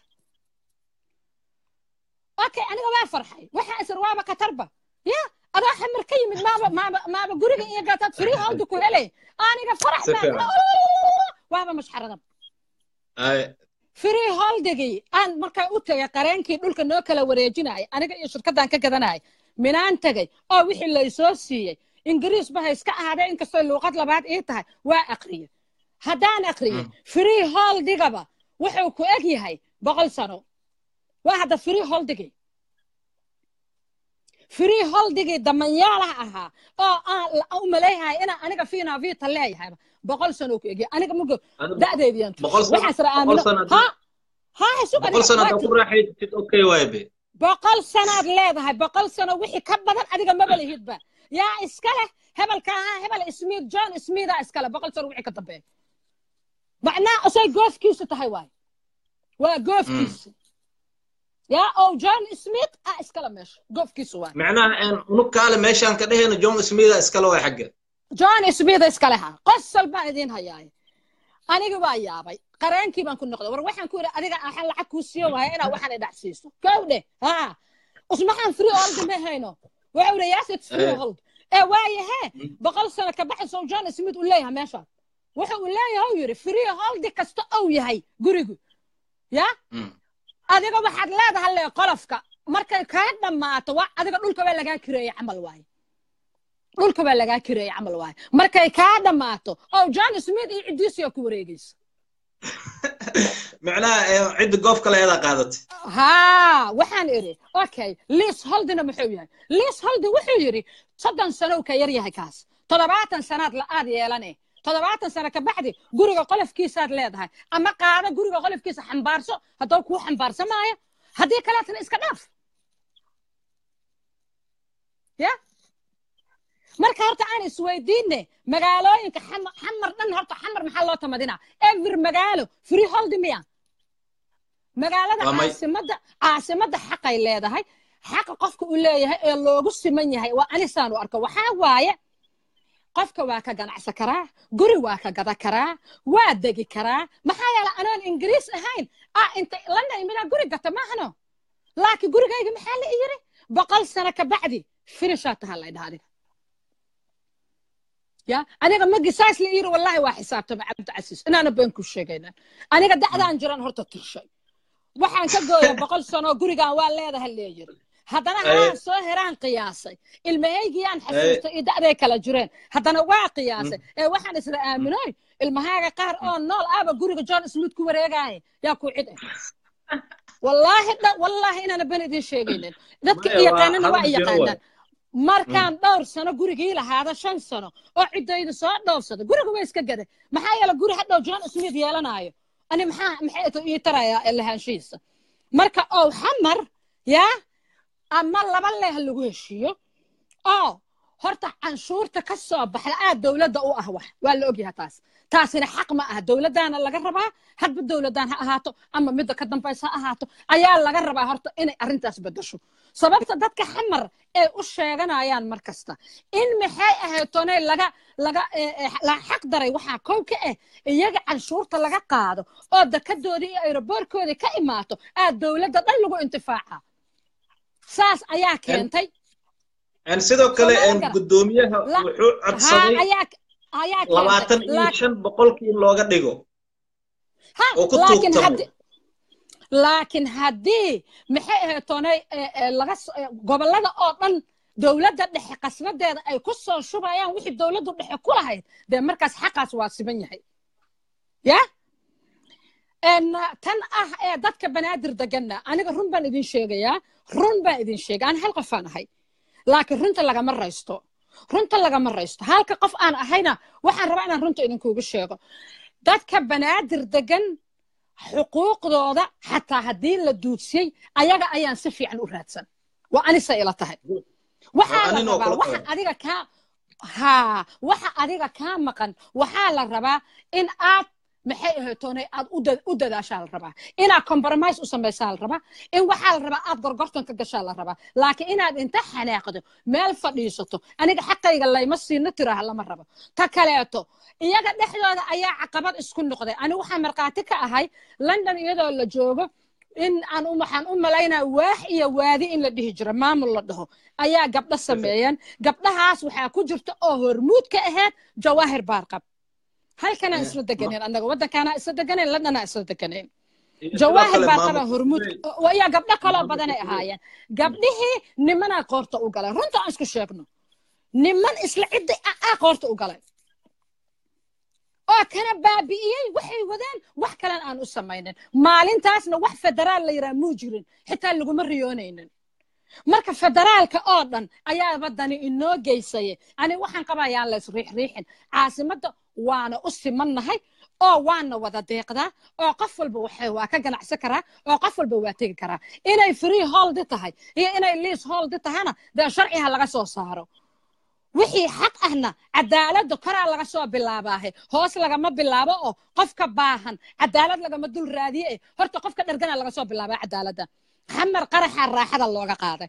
Sababta qaraxa raaxada looga qaadana waxa ay tahay in ay tahay caasimad. Waayo afrikaanka oo dhan baa wuxuu dhaqankoodu yahay inay caasimadda isku fulfulaan. Afrikaan oo dhan saas waay dhaqankooda caasimadday isku fulfuulayaan caasimadday isku dilayaan. Caasimadday isku abusayaan. Ma garatay? Marka haddii caasimaddii culayska laga yaro qaadaayo anigu taasaan taageersanaan lahaa. Ha laga yaro qaado culayska haddii caasimadda dekadeeda iyo aeroboodkeeda wixii ka soo baxa dee dekada iyo aeroboodiyooyin badanaa waddanku leeyahe iyagana wixii ka soo baxa dowladda qaybteeda ha siiyeen. Laakiin aniga intaan leeyahay xujaan inta u fadhihaa dekadaya aeroboortka wixii ka soo baxana aniga ciddaydaa iska leh. Runta aan isku sheegno federaalka lagu sheegaaba waa qabyaalad ya qabiilkuna ceeb maahe qabyaaladaa ceeba. Qof cirka ka soo dhasha ma jirto qof dhulka ka soo dhasha ma jirto oo ciso lahoo caws ah. Qof cirka ka soo dhacana ma jirto qof walba qabiilo ku tagtaa iyo tagoog aabow ka dhasha. Lama diidi karo taas. Waxay ila tahay waxay ila tahay dadka banaadir degan ayagoon xanaaqin dowladdana ku kicin. Dowladdana aan maxay tahay maxlalama siin iyo waali lama raba meesha. In si cilmiyeysan loo fikiraa la rabaa. In laga hadlaa la rabaa waxaan ma fahamta in laga manaaqishoodaa la rabaa dowladda naftirkeeda marka lala gorgortamaayo looma raba anigaa saas ah anoo reer hebela ah waxaas iga maqan yihiin waxaasu af maaha ya? Laakiin in loola yimaadaa la rabaa qorshe degan oo la yidhaa anaga intaas lala xisaabtamo accountability lala xisaabtamaa la rabaa anaga haddaanu nahay dalka reer muqdisho culays badanaa na haysta qaraxyada oo keliya intay naga jareenba cid kaleeto ay ka jareen ma jirto maadaama waddankan loo siman yahay maxay ahayd toona qorshahan qorshahanaan wadanaa ma u malaynayo aniga in wax laysku diidaayo laakiin yaan la dhihin nin reer hebela aa degme hebel waxaa ka noqday nin reer hebela hadda horta waxa lagu tagaaba waa hebel hebel ma yaqaaniyo hebel naagtiisa abtigeeda ninka aan waxaan la dhasho iyo badanaa faamil faamilyaa meesha lagu tagaa. Annagaa runyan beenyan annaga dhexdayada isu sheegin mogtahay xukuumadda dowladda ayaa kala baroo bar faamil ah. Ya iyagoo kala qabiila. Oo markaad kor ka fiiriso reer hebel iyo reer hebel reer hebel shaqo isku lahay ayay hoosta ka wada xiriiraan oo faamil yihiin. Oo kan waxuu qabaa kan gabadha walaasheed ka kalena kan eedadeeda abooto u ah da xukuumaddoo dhanaa sidaas ah. Soomaalida iyo bini aadamkana musuq kama dhammaado laakiin ani waxay ila tahay in si toosan oo degan oo bilaa rabsho ah oo bilaa dagaal ah oo bilaa waxaa ah in loo raadsado wax. Sababta aan doodan furan u sameynay waxay tahay in qof kasta fikirkiisa uu ku gudbiyo. Dadka qaara waxay aaminayaan caawa in qabiilista aad tahay maadaama arrinta gobolka banaadir aa ka hadashay. Dadka qaar ah waxay aaminsan yihiin qofka xaquuqda gobolka banaadir u doodaya in uu yahay qabiiliste si bromwesh ama maskax dhaqid loogu sameeyo jiilka cusub. See u aragtaa arrintaas? Maya maya qabiilista ah. Ma aha qabiilista hadda example aan kuu soo qaadanaa example haddayna waa soo qaata dadkii hore ugu jira meesha. Aniga aamino muuse weli caddow baa lay dhahaa. Xamar ayaan ku dhashay. Iska badaa u dhalashada. Iska dhaafba war qof qof kasta qabiilow ka dhashay. Qabiilkayga marka laga hadlo xamar waa degan yihiin. Ya? Laakiin aniga hadda xamar haddaan tago xaan ka qabahaa bal ii sheeg bal. Ani xaqayga aawe. Ya boosaaso haddaan tago iyo garowana xaba kama noqon karo. Oo maaha iyagooba iska kay jeclo inay iska kay dhiibaan jeclaan lahaayeen.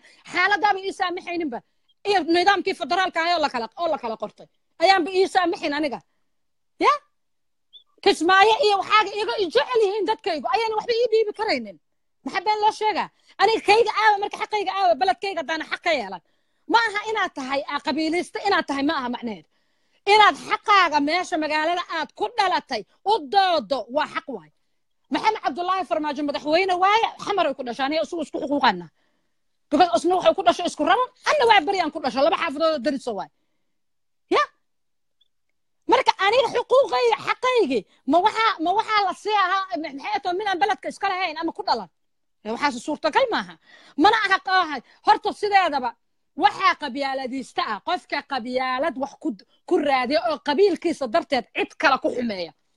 Aniga qabiilkayga ama ha tun yaraado ama ha tun weynaadee ama maxay atoon badan ha qabo ama sacboolay ha ahaadee aniga qabiilkayga haddaanan waxba ku dhibaataynaynin oonan ku qabyaaladaynaynin aniga eed qabiilna waa ka dhasho of course qabiil waa ka dhasho oo ana adduunkaanba ma imaalahayne haddaan adoogay dhalina.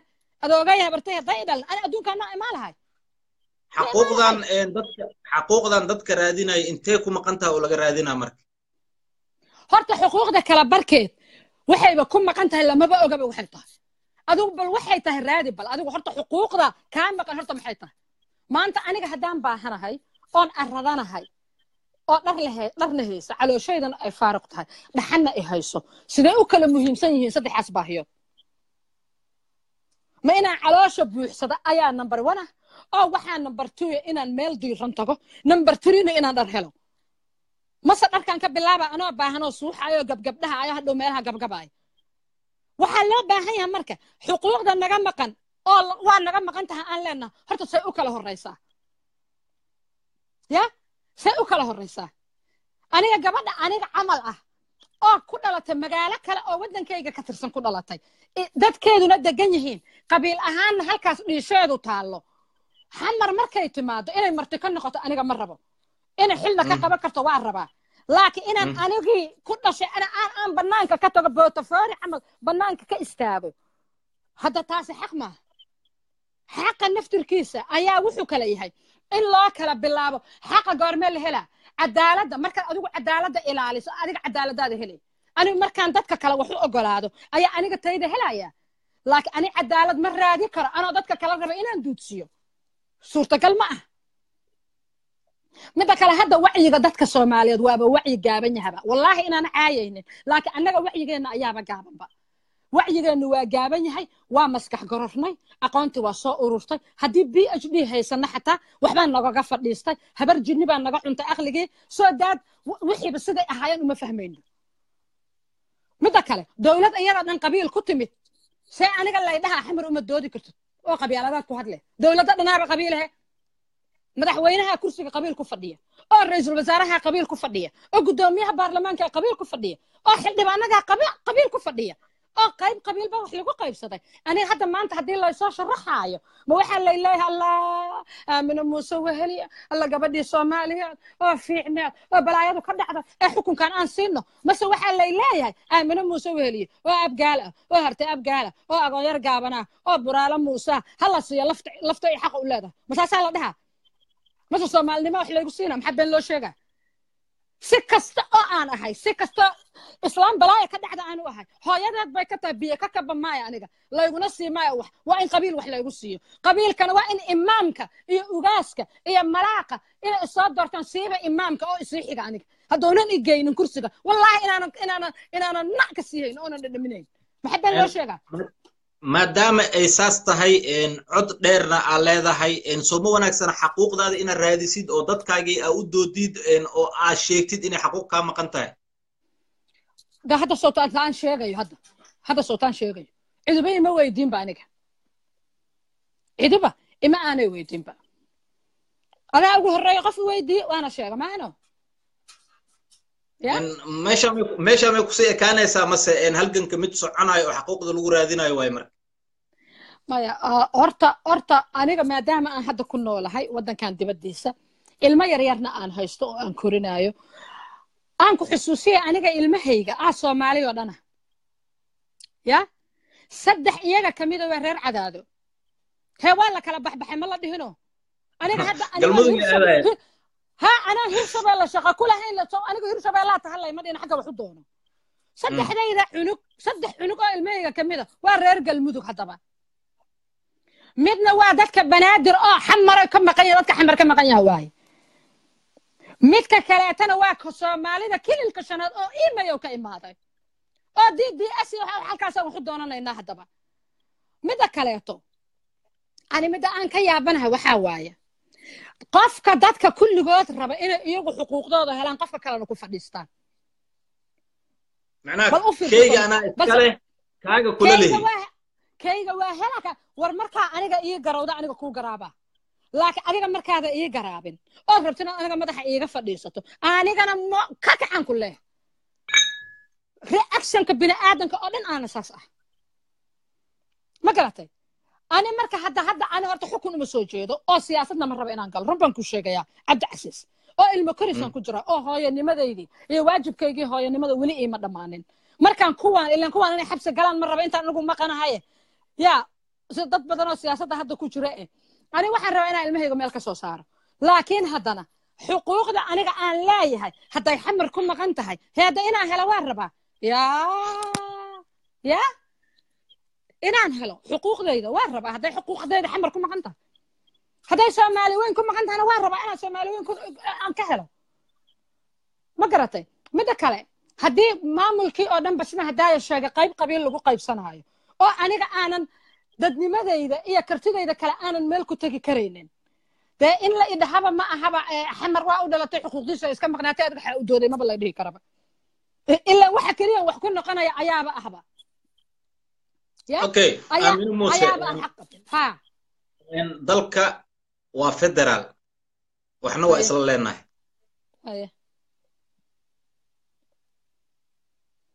dalka federaal waaye nidaamka dalka uu ku dhisan yahay waa federaal aniga adigana waxbaan isla leenahay. Sidee isku qabanaysaa marka? Halkaa wax yar aniga wa- waxaan waxaan waxa aniga ah, mentor ii ahaa cabdulaahi xaaji. Qofka b b c da ka hadlaaya qofka adduunka ugu codka xun hadduu yahay wuxuu dhihi jiray brilliant baa tahay aad iyo aad baad u wanaagsan tahay laakiin halkaa haddaad yara hagaajin lahayd. Marka hadda cabdulaahi xaaji casharkan ka bartan kaga jawaabaya su'aashan. Xaggaa federaalka xoogaa yar haddii la yara hagaajin lahaa way iska way iska nuuri lahayd. Soomaadan karan way iska nuuri lahayd haddii xoogaa yar la hagaajin lahaa. Waxa waaye horta federaal waa inaan qeexno. Federaal inaan qeexno waaye. Federaal muxuu yahay? Waxa waaye awood qaybsi lagu qaybsanaayo deegaan. Soo maaha? Deegaankiina waxaa degan qabiil. Anigu kolle intaasaan ku soo gaabin karaa awood qaybsi lagu qaybsanaayo deegaan deegaankuna uu degan yahay qabaa'ilo oo hadba inta deegaana ee israaci karta wax isku darsan karto isku darsanayso soo maaha hadda taas hadday no taas hadday noqoto waaba tan aniga xamar iga qaxisa maahano he ya? Xamarta tii iga qaxisa waay. Oo hirshabeelle egeyso jawhar kama sokeeya aniga. Ya? Jawhar ma ka sokaynayo xaquuqdaada si dastuuri ah sidee ugu heli kartaa marka waxaan xaquuq helaa waaba waaba yaabanayo yurubaan ku qorqoray waayaaye xaquuq raadis maba jirto hadde ani tayda hadday tahay wallahi ani marka tayda abkoolibaax hadday ab- ab- ab- abkoolibaaxo ilmaha cunta allah kuu daaweeye waay abkow abkow libaaxo ilmaha cunto allah kuu daaweeyo abkow abkow dhurwaayo anigana ha ii imaanin ammaan le isii meeshaydan kaa joogaan le joogtaa ma ahane ya wax kale ma joogto midda kale dadka halkan ku jira qaar baa wax soo qorqorayoon arkayaa horta kuwa le marada cad marada cad aniga gurigayga kuma saarto gurigaygana joogaa iyo sariirtan seexanaya korkeeda ayaan joogaa. Maxay ahayd toonhay dadka ilaa maama waa ku salaamnay salaanta waa idinka qaaday aad iyo aad aa idinkaga qaaday. Cabdicasiisow waxaan u malaynaa warka inuu naga dhammaanayo waxaan ku soo gebagabaynaa. Bahasha xuquuqda la yidhaaho aaday u qaraweyn tahay qof inta iska soo fadhiista keligiis iska hadla xuquuq ma ilaali karo. Xuquuqda waxaa lagu ilaali karaa kor ilaa hoos. Maanta marka nin jareer weyne ah uu madaxweyne waddanka ka noqdo aan runta isku sheegno soomaali maxamedey badanaa aniga fursadahan oo runta ilaa heerkaana aan ku sheego badanaa ma helo aamin haddaan ahay. Marka waxay igu soo aadaa anaa hiliq ah oo bartaas joogo ay ii imaataa. Maanta markii nin jareer weyne ah uu waddankan loo ogolaado oo soomaali oo madaxweyne ka noqdo. Oo nin madhibaana oo ra'iisul wasaare ka noqon karo. Oo nin reer xamar ah uu ka noqon karo guddoomiyaha gobolka banaadir. Maalintaasaanu cadaaladda ka hadlaynaa inta ka horraysa nin walbow bal ninkaa dardari karta dardar ha la arkee. Oo nin kastoo xuquuqda kaa maqan qayle maxaa been loo sheegaa? Been maxaa loo sheegaa? Jareer weyne maxamed siyaad barre waxuga naxariis badnaa ma lahayn. Ya? Aad uma xasuusta aniga waayo aniga ilaa iyo waagi axmed gurey ma noolayn. Mar dhexe maxamed siyaad barre dhala oo dhala raba saddex sano ka hor dhashaani. Soomaada garan? Waxa ay ku shirbeen usjaala siyaadow jareer weyne ununka jid jeexnaya iyo jaj iyo dhagax jabinayaaba usjareer weyne jagama loo waaye markaasaa la siiya jagooyin. Ya markaasaa jagooyin la siiya abgaalna waa shirbeen. Xuseen kulmiyaa loo diray. Adeer xuseen allaha u naxariistee iyaga oo jidxuma hayso. Si ay ugu sheegaan in jidxuma hayso ee waxay dhaheen isheenna meel u muuqataan u soo marnaatanya maxaas. Waa taariikh dhacday. Jidxumo ilaa hadda jidxumada waa haysaa. Jid fiican ma qabaan isheenna meel u muuqataan u soo marnaatanya maxaas. Arrintan ah soomaalida oo waa nala dilay maxamed siyaadaa na dilay daaroodaa na dilay. Cid oynan dilin dowladdu ma jirto. Cid aynan dowladdu dilin cid kasta waa disho. Telefoona iga soo gal raalli ahaada. Cid walba dowladdu waa disho. Dadka qaarkood gobollada dhexe dadka degan kaarayaalaa la dardarsiiyo day saasaa kaarayaal loo dardarsiiyo aniga idinla hadlaaya ah xamaraa nabada inta ka tegay oo shaqo u tegay gaalkacyo. Weligay xabad dhacaysa abidkay ma maqlin gaalkacyo ugu horreysa xabad dhacaysa. Waddanka intiisa kale nabada inuu nabad inuu nabadiha umalaya maba ahaba ileen. Wallaahi aniga oo shaqaale ah ayaa inta gaalkacyad shaqo la ii geeyey ah dhow dhawaaq aanan weligay maqlin umbaa dhac war waxaana maxay yihiin? Markaasaa waxaana lagu yidhi waa xabad abidkay baroon meesha ugu horreyson baroon ku arka ahayd baroon meesha ugu horreyson ku arka gaalkacyeed soo dad ma deganayn dad soo ma deganayn waay oo dowladdii oo jirta oo oo oo maxay too baroon iyo xabad loo ridaayo soomaalia garan cid oynan dowladdu dilin ma jirto. Ya? Marka hebelaana dilo iyo daaradaana laaye iyo hebelaana dardara iyo reer hebelaana dardara iyo hawiyaa aana dulmara iyo hala iska dhaafo. Qof kasta qofka ka xoog badan yahow dilay. Xaqaa kuu soo haray ila maa soomaalidu ay inta si fiican isu dhagaysato. Ay dadka hadda joogooyinka laga suuliyey ee laga dhaariyey loo dhiibo. Ee maxay ahaytono yasmada iyo bahdilka iyada dhexeeda ay iska dhaafto? Wallaahi oo bilaahi oo tallaahi baan ku dhaartay in aanay xaq iyo xuquuq iyo cadaalad cid helaysa ayna jirin. Xuquuq iyo cadaalad cid helaysa ma jirto xubno ka tirsan baarlamaanka soomaaliya ayaa leefkan ugula jiro oo fiirsanaya maxaa fariin gaarsiin lahayd golaha baarlamaanka horta golaha baarlamaanka aniga waana saluugsanahay aadna uma saluugsane. Waayo waxaan necabahay dhaliisha wax dumiso oo dhanaan ka soo horjeedaa. Hataa hataa wax dhaliilaayo waxaan jecelahay dhaliil wax dhisayso oo constructive ah. Oon destructive ahaynaan jecelahay waxa waaye xubnaha i dhagaysanaya ee baarlamaanka ku jira iyo kuwa berriba subaxii warkaygu gaari doono. Waxaan idin leeyahay horta waxaa tihiin sharci dejiyayaashii ugu sarreeya maanta idinka ayaa annaga oo dhan masiirkeenna gacantiinu ku jiraa. Ilaahay subxaana wa tacaala baa awood le laakiin awoodda idinkaa iskale awoodda aad leedihiin sida ay tahay u isticmaala.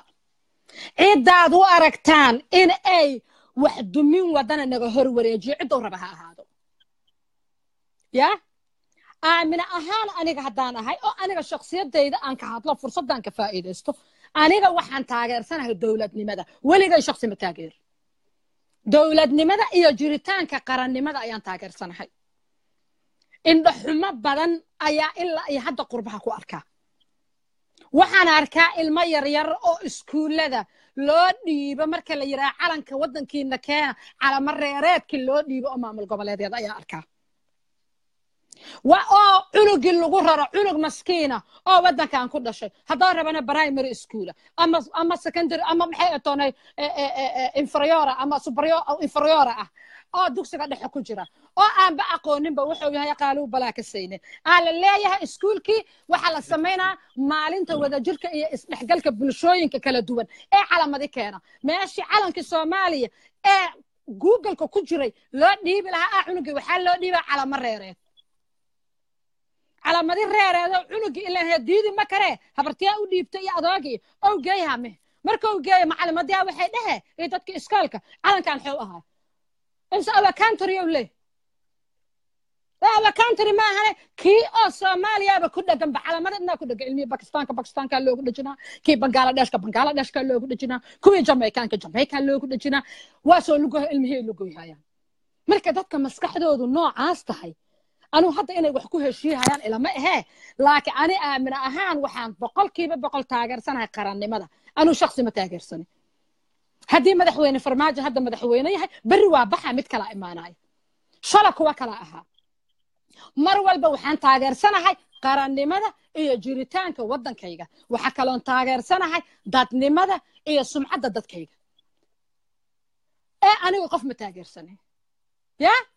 Hadda hadda ninka la yidhaaho kayre soo ra'iisul wasaare maaha. Kursi hawiye soo kuma fadhiyo. Waxaan ogahay ilaa aniga haddii la kala hawiyaan ahay soo maaha kursigayga ku fadhiya waa walaalkay. Laakiin aniga asaga shaksi ahaan ma u taageersanin mana dhaliilsanin haddau qalad galo qaladka oo galan ku dhaliilaya. Asoo aniga imatalaya oon ogahay inuu aniga kursigayga ku fadhiyo. Ya iskuulaan isla dhiganay laba kalaasoo isku xigtaan dhiganay waa sheeko badnaay haddaan iska kaftamo madaxweynaha. Markau yaraa wuu sheeko badnaa. Ilmaha marka bareega loo soo baxay aad u sheekee u ahaa oo aad u qosla. Ya? Ma garatay? Okay saas la ajligeed marka qarannimada aan aniga taageersanahay. Idinkana waxaan idinku waaninayaa kala safashadan inaad iska dhaaftaan. Ood waddanka taageertaan iyo jiritaanka dowladnimada. Wax kasta oo dowladnimada duminaya waa ka soo horjeedaani waxaan rabaa in dowlad kasta fursadeeda la siiyo ay waktigeeda dhammaystaan rabaa. Laakiin haddana dowladda sug dowladda maadaama hadafka ugu weyn oo dowladdan hadda jirto dowladdeenna hadda jirto ay tahay inay la dagaalanto musuq maasuqa. Waxaan kula ku boorinayaa in ay musuq maasuqa lama dagaalami karto haddaan cadaalad samayn. Inay cadaaladda aad ugu roonaato oy cadaaladda ka shaqayso barnaamijyada annaga aan sameyno waa mid bulshada fikirkeeda la iskugu soo dhowaynayo ma ahan mid qabiil looga hadlayo ama qolo lagu ataagayo waa mid fikir ahaan dadka dowladda dhaliilsan dadka xaquuqda ka maqan tahay dadka rabaan inay isdifaacaan ay ka soo qayb galaan. Waa wacyigelin bulsho waa xaquuq raadin waa garab istaagid waa wax isku sheegid. Ma ahan mid wax lagu duminayo ama mid qabiil looga hadlayo sababta a caawa igala soo qayb gashayna waa wanaaggii aan bilownay iyo wacyigelintii ummadda loo sameynayo caawa dad badan waxay maqan tahay xaquuqdoodii oo aniga kula hadlaya aan ka mid ahay. Gobolka banaadir waa caasimadda dalka soomaaliya waa isha keliya dhaqaale ee gobolka dowladda ay ka soo gasho qarashaadka loo qaybiyo maamul goboleedyada dalka soomaaliya iyo xubnaha dowladda muqdisho waa meesha keliya oo malaayiin qof lagu xasuuqo. Muqdisho waa meesha keliya oo dhibaato kasta u dul qaadato oo aan isir naceeb iyo qof naceeb ka jirin. Muqdisho waa meesha keliya oo haddana aan xaquuq lahayn waxay noqotay wax qaadmi waayey ama aan qaadan weynay taas ayaa keentay inaan fikrad aruurino dadka diidan in maaragtay nidaam sax ah oo maamul ah oo qaab deegaan ku taagan la dhiso iyo dadka raba inay xaquuq helaan. Waxaan u qabanay dood furan qof kastana fikirkeeda waan soo dhoweynaynaa madaxda dalka soomaaliya iyo dadka shaqada kulena way gaaraysaa arrintan. Insha allah aniga taas talada ma raba inaan hadal ku noqdo laakiin taa aniga talan dowladda uga soo jeediyey iyo dadka ay qusayso oo dhan. Aniga hadda markaan runta kuu sheego ani aamina ah right now noloshayda birmingham iyo ammaankeeda ay quseeya. Teresa may naag la dhahayo ra'iisul wasaare ii tahay haddeer laakiin waddankaygii mar walba waa jeclaha oo qalbigaygii waddankaygii u jiraa. Ilmo yaryar oo qaaluu balaa ka saynin halkan ku haysto oo waddankoodiiba weligood aan arag. Oo horta maanta in waddankaygu dago waan ka jeclaha male ilaahayna haba igu cadaaba hal kelmad oo waddankayga qarannimadiisa duminaysa haddaan wax dhaho. Oo aan aniga ka shaqeeyaba allaba ha igu cadaababa taa. Laakiin anigu waxaan ku talinayaa caasimadda si culayska looga qaado. Ha lala tashada maamul goboleedyada kale halka la geynaayo caasimadda meertaha laga dhigo. Ani saasaa qabaa. Xamarna ha nasato qaraxu haddou la socdo meertana aanu aragno. Haddii xuquuqda xamar ee waa dadka xamar jooga ama dadka banaadir iskale waa ka maqanta midda kale. Horta yaa ah caasimad ma xamar baa amase gobolka banaadir. Cabdi casiis adaan ku weydiiye raallina ahaw. Caasimadda yaa maxaa? ma xamar baa amase gobolka banaadir ah caasimadda waa muqdisho ama xamar sidaa doontid u qaado gobolka banaadirna waa gobol la mid ah gobollada kale ay muqdisho ku taallo ha oo muqdisho ku taallo ani marka waxay ila ani marka waxay ila tahay halkaa in isfaham waa ka jiro. Gobolka banaadir xaq waa yeelan karaa. Waana maamulna waa samaysan karaa. Caasimadda waa wax dadka ka dhexeeya. Waana sidii aan sheegay. Oo dhul free holdi ah ma jiro. Kismaayo haddaa tagta dadaa iskale haddaa garooba tagta dadaa iskale free holdi meeshaan ma jiro. Wataan wataan idinkaga sheekay sheekadii qosolka badnayd oo halkan igaga dhacday aniga. Marka ani waxay ila tahay xamar haddii maqaamkiisa la ilaalinaayo oo xuquuqdiisa la ilaalinaayo oo dadka xamarka naftirkiisa ayaa u baahan asaga naftiisa u baahan dadka ka noqonaya ee maxay eetone waxaaga inaanay noqon. Anusaan qaba waaye ya waa igu waa waa igu diidi karaan. Waa laga yaabaa maanta dad kaleeto oo fara badan inay kan waa igu diidaan. Laakiin waxaan qabaa aniga xamar naftirkeeda dadka qofka ka noqonaya guddoomiyaha in loo noqdo mar kale. Maxaa yeele ani waxaan qabaa inta ay maqan yihiin qabiil qabiilada reer xamarka oo ay maqan yihiin bandhabow oo maqan yahay dhabarweyne oo uu maqan yahay maxay ahayd toone shaanshiyo oo maqan yahay maxay ahayd toone duruqba iyo reer iyo reer faqi ay maqan yihiin. Ani waxaan qabaa xuquuqaa weli lagu tumanayaa waa garad soo maha. Dadkaas waa inay xuquuqdooda helaan. War xaq ma samayn kartid haddii aadan xuquuqda raadin. Waa in la arkaa ra'iisul wasaare ma dhibaana. Waa in la arkaa madaxweyne jareerweyne ah. Soomaaliya runta aan isu sheegno. Runta aan isu sheegno midda kaleeto arrintan ah qabaa'ilada waaweyn waxa lagu qaybsado. Naftirkeeda aaba qabiilada yaryara horta iyagu sumo jiirooynigu ku imaaha. Jiiradu goormay ku imaahe. Ya waa in la isweydiiyo waxaa rabaa hadalkaaga xuquuq ma la heli karo. Haddii aan xuquuqda sida ay tahay loo bixinin. Hadalkaaga caawa wax yaruu isoo xasuusiyey hadda ka hor waxaa la yidhi habar dugaaga waxaa la yidhi weera waxaa la yidhi qaybi habar dugaag wax u qaybi. Markaasuu yidhi kistan habar dugaaga iskale kistanne waxaa iskale abkoolibaax dharbaaxshu intuu soo gemayo ilfaninjiye mogt. Dawaco aqli lagu sheegayaa la yidhi qaybi markaasay tiri intaanoo dhan abkoolibaaxa iskale maxaa la yidhi waxaan cadaalad ma ahana maxay tahay? Markaasay tiri ishi weerow baan ku quustay. Hadda dadka banaadir degan waxay taagan yihiin ishi weerow baan ku quustay ha waxay tiri adigoo isla waxaagoo neefka wada qaaday tiri dawacadii gabay baaba laga sameeyaba neefkoo dhan ba iska wada qaaday dhahdan waa runtaaha laakiin ani waxa aniga ma cadaalad walaalayaalow. Mase isdul boodayno oo ninba ninkuu ka xoog badan yahay dusha ka fuulaayay sidii aan ahaynba haddii la isdul boodayay fiir cabdi casiis. Hadda hadalka aadaa ugu dheeraada laakiin hadal yaraan rabaa. Waxyaabaha qaar oo aniga aad ii xanuujinayaan rabaa inaan kuu sheego maxamed gorgaate iyo maxamuud gorgaate caawa waxba laysu qarin maayo. Waa isa dhasheen soo maaha. Ya? Ani markaa abtirsanaayo. Ma ani markaa abtirsanaayo maxamuud gorgaataan ku abtirsadaa. Adigana waa ku abtirsataa. Gabadha walaashay ah oo maxamed gorgaate ku abtirsata maxay iga duwan tahay ani? Waxba. Inay iga qurux badan tahaaba laga yaabaaba inay iga qiimo badan tahaaba laga yaabaaba ma fahamtay. Oo alla waa kaas. Ayadii ayaa la leeyahay maxay ahayd way liidataayoo oo oo waa laga tiro badan yaho oo soomaalida kale lama mid aha. War inta waxaas la aaminsan yahay waxba ma soconaayaan adeerayaal. Ninka gaalka ee waddankiisa adigu timidna waxaa dhahaysaa maanta cunsuriyaan la soo kulmay. Adigii oo waddankaaga joogto ah qof walaalkaa cunsuriyeynaysa haa haa ani waxaan xasuustaa wiil reer xamar ah oo gabar doontay east london soomaali ah oo jaamacadda isa dhiganaayeen. Reer xamar uu ahaa gabadhii reerkeedii waxay dhoon naama jareerka jareerka jareerka. Gabadhii waa loo diiday. Ilaahay wuxuu xugmay oo ilaahay cidda ku imtixaamay jamaykaan tobanka iyo sankana toban bahal uga duran tahay. Iyo macal faruurta iyo macal garku duran yahay. Timuhuna raama leeyihiin gabartu inay aroosto. Iyo kuna aroos u dhigaana u tumaan. Oy ku farxaan. Soomaalida garan marka xaquuqda la sheegaayo adeer xaqa kan ugu yar haddaad ku tumato kan ugu weynna ma soo dhicinaysid kan ugu yar haddaad ku tumato waa aniga iyo adiga oo isqabyaaladayna. Ani adiga oo maanta lacalla haddaan ka tirsannahay laba lafood oo abgaalaan ka dhalanna aniga adiga. Ya? Haddii aan labadaas lafood darteed isu qabyaaladayno wax aan maanta kaleeto oon cid kale oon wax u taraynaa ma jirto. Arrinta isku sheegno.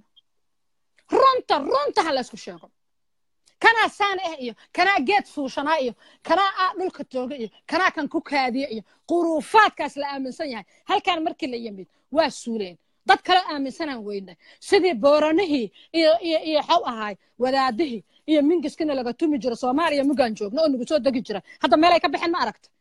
Ama aragta mingis la tumaayo ani ma arag waxaasoo dhan idab daray ahayd qurbihii mugii la yimid ow jinni oo dhan waa baxay bal meelo aadaa bal adigu kaala sheeg ma garatay marka ani waxay ila tahay qarannimada iyo dowladnimada inaan ilaashanno qof taageerka gooniya inaan iska dhaafno midda kale dowladda ammaan uma baahna dowladda gabar la soo aroosay maaha dowladda gabar dhannaho la soo aroosay ma ahee ma og tahay oo oo ammaan rabta ma aha haddii ay madaxda dowladdu shaqadooda ka soo baxaan waa inaan dhiiri gelinna oo weeldhan dhahnaa allaylehe waajibkiiniyaa gudatay laakiin waa inaan u aragnaa inay waajibkooda guteen. Oonay axsaan samayn.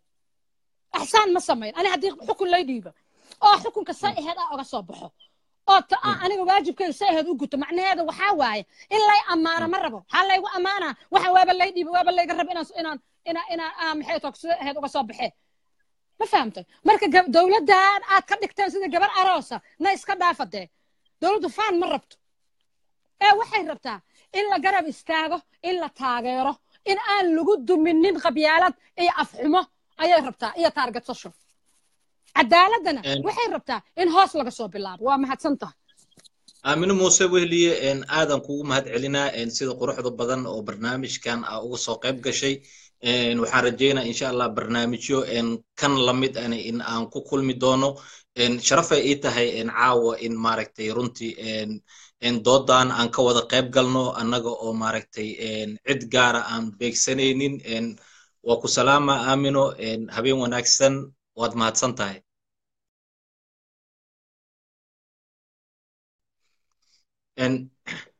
Waxaan aad ayaa u mahadsan tihiin runtii sida sharafta leh waxaan rabaa sidoo kalento maxamed maaragtay oo muqdisho joogo jawaahir iyo safiya idinkana waa idin soo qabana hadduu ilaah yiraahdo maxamedaan soo qabanaynaa oo muqdisho joogo i hope inuu maxamed qadka u fiican yahay. Waxaan rabaa inaan soo qabano maxamed sidoo kale cabdullaahi cilmi waa soo qabanaynaa asigane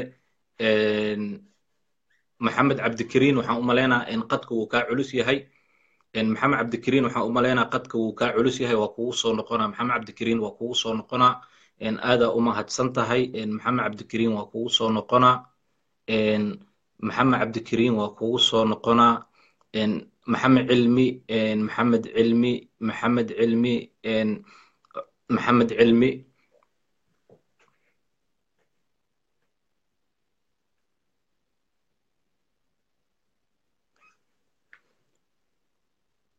sofiyan soo qabanaynaa hadday suurtagal noqoto walow qadka maaragtay mararka qaarkood uu iska cusul yahay.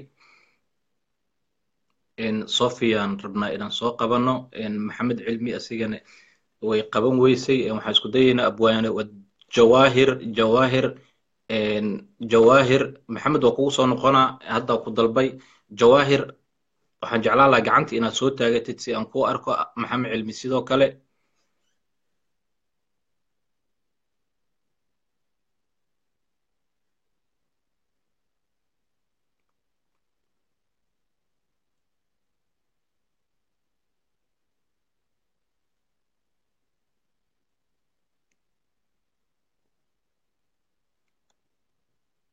jawaahir wax iisoo qor haddaa ii jeedid jawaahir haddaa ii jeedid wax iisoo qor. Ina cilmi sidoo kale adigana haddaa ii jeedid wax iisoo qor. Sacdiya haddaa ii jeedid wax iisoo qor.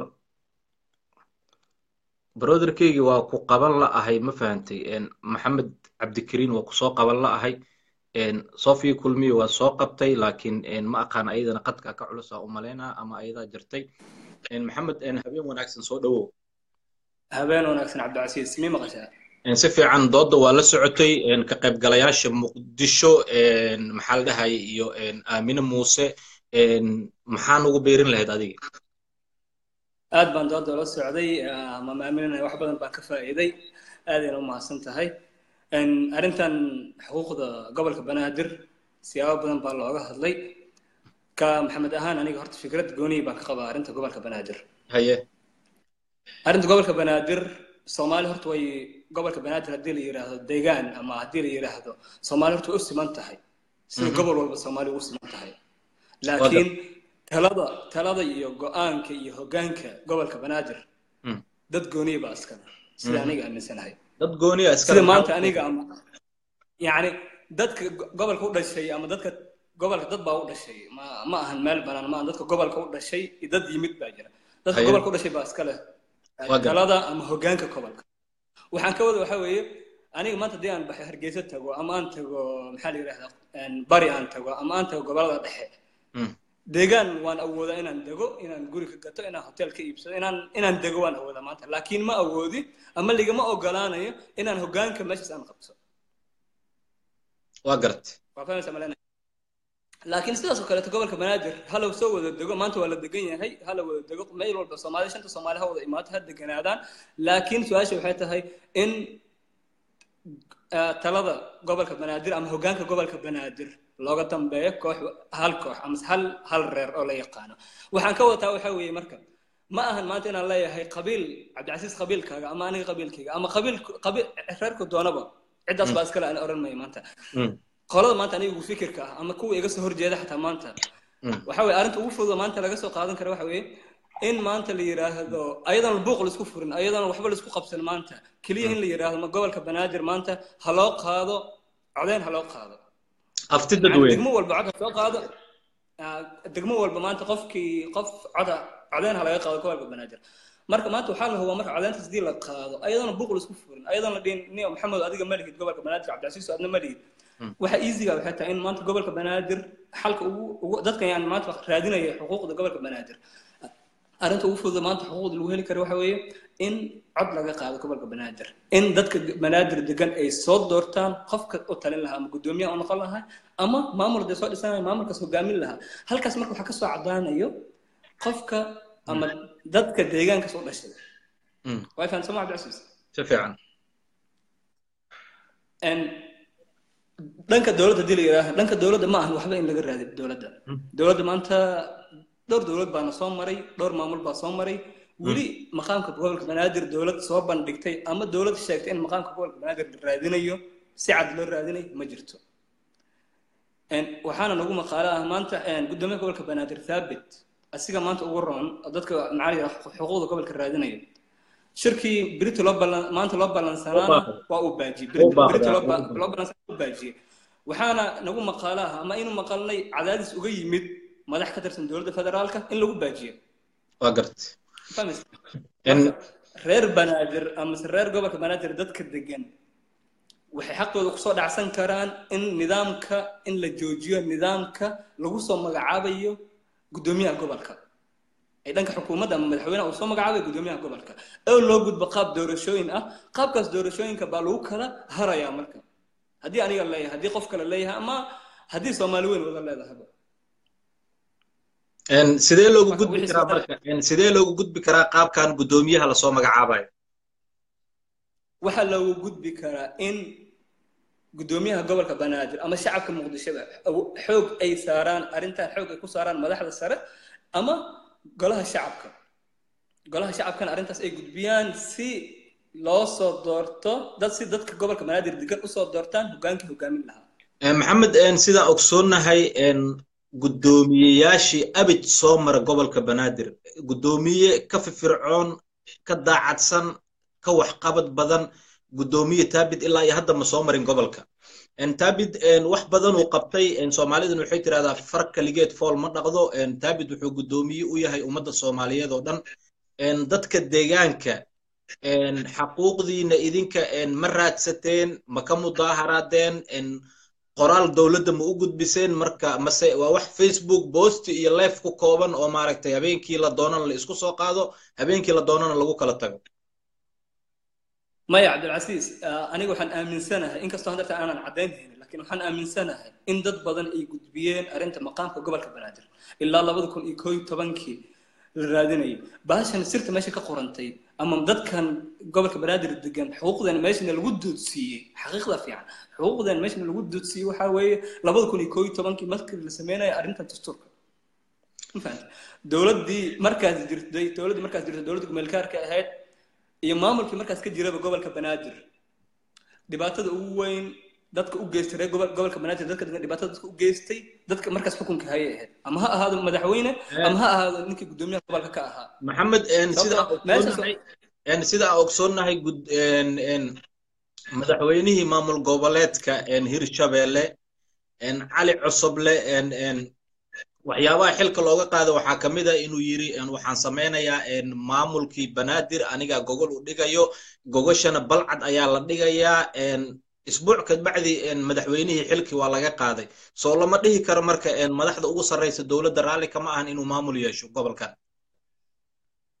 Cali cabdullaahi cusubla sax waaye waxa arrinta looga qaaday markuu nairobi joogo uu ka sheegay in gobolka banaadir maamulkiisa ama gobolka banaadir maqaamkeeda shir looga hadlayo uu ku qaban doono balcad.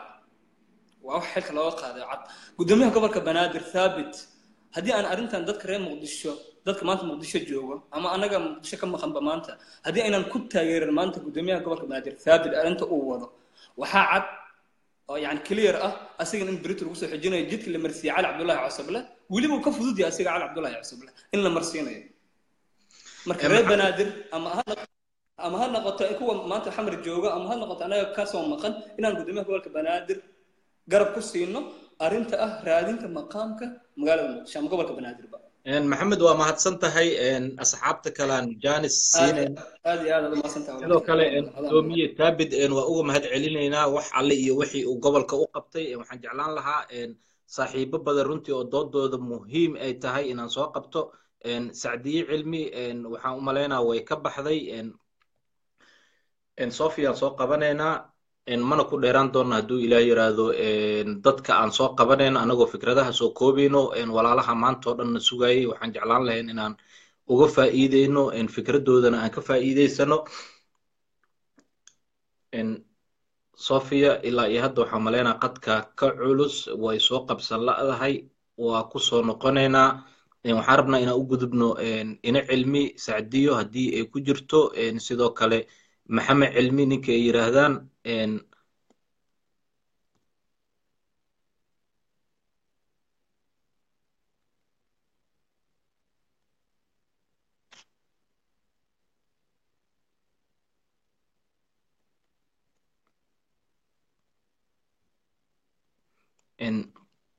abwaane jawahir sidoo kale makuu jeedo? Haddii aa i aragtid maxaa dhahay ii sheeg gacanta soo taag jawahir haddii ay aragtid waxaan isku dayaa ninkan odayga ah inaan soo qabto insha allah hadduu qadka soo koranay qadar adigan kugu soo maqanahay. Qadar adigan kugu soo maqanahay. Qadar cabdiraxmaan adigan kugu soo maqanahay. Waa ka xumahay qadar qadka ka culus waa soo qabsan la'dahay waa isku dayeynaa inaan mar labaad kugu soo noqono walow maaragtay asxaabta gacanta u soo taagan tahay ay tiro badan yihiin oo maaragtay ilaa iyo soddon qofood ay gaarayaan waxaan isku dayeynaa inta aan kari karna inaan soo qabanno waxaan aad ugu mahad celinaa runtii dadka isku hoola inay bulshada wacyigeliyaan sida maaragtay hagar la'aanta ah oo qabiilka ka fog waxaan aad ugu faraxsanahay gabdho badan oo soomaaliyeed inay jiraan barnaamijyo ay qabtaan sida gabadha jecliya jawiga xamar ku wadato magaca facebook oo maaragtay wacyigelin meesha ka wado annaga dhalinyaro ahaan in aan danaheenna iyo maaragtay wax walba oo maaragtay soomaalinimada aan dhaawacaynin runtii inaan iska kaashano waa midda keliya ee aan guul ku gaari karno. Waxaan aad ugu faraxsanahay in maaragtay waqtigiina qaaliga ah isiisaan oo doodan si hagar la'aana aan u wada qayb galno ayadoo aan qof lagu xadgudbayn ayadoo qof aan loo gafaynin. Barnaamijyadeena waxay noqon doonaan mar walbo mid aan diiradda ku saarno danta guud ma ahan mid wax lagu duminayo ma ahan mid xaquuqdeena aan ugu aamusayno mana ahan mid qof gaar ah ama qabiil ama shaqsi lagu dulminayo waa fikir furan haddii aad doontid waa ka soo qaybgeli kartaa haddii barnaamij noocan oo kale aad samaynaysid waa kaala soo qaybgelaynaa sacdiyo waa soo qabsan la'yahay aadaa uga xumahay jawaahir ma arki sidanna waxaa malaynaa waqtiga uu naga sii dhammaanaa sacdiyo waa kugu soo celinaa mar labaad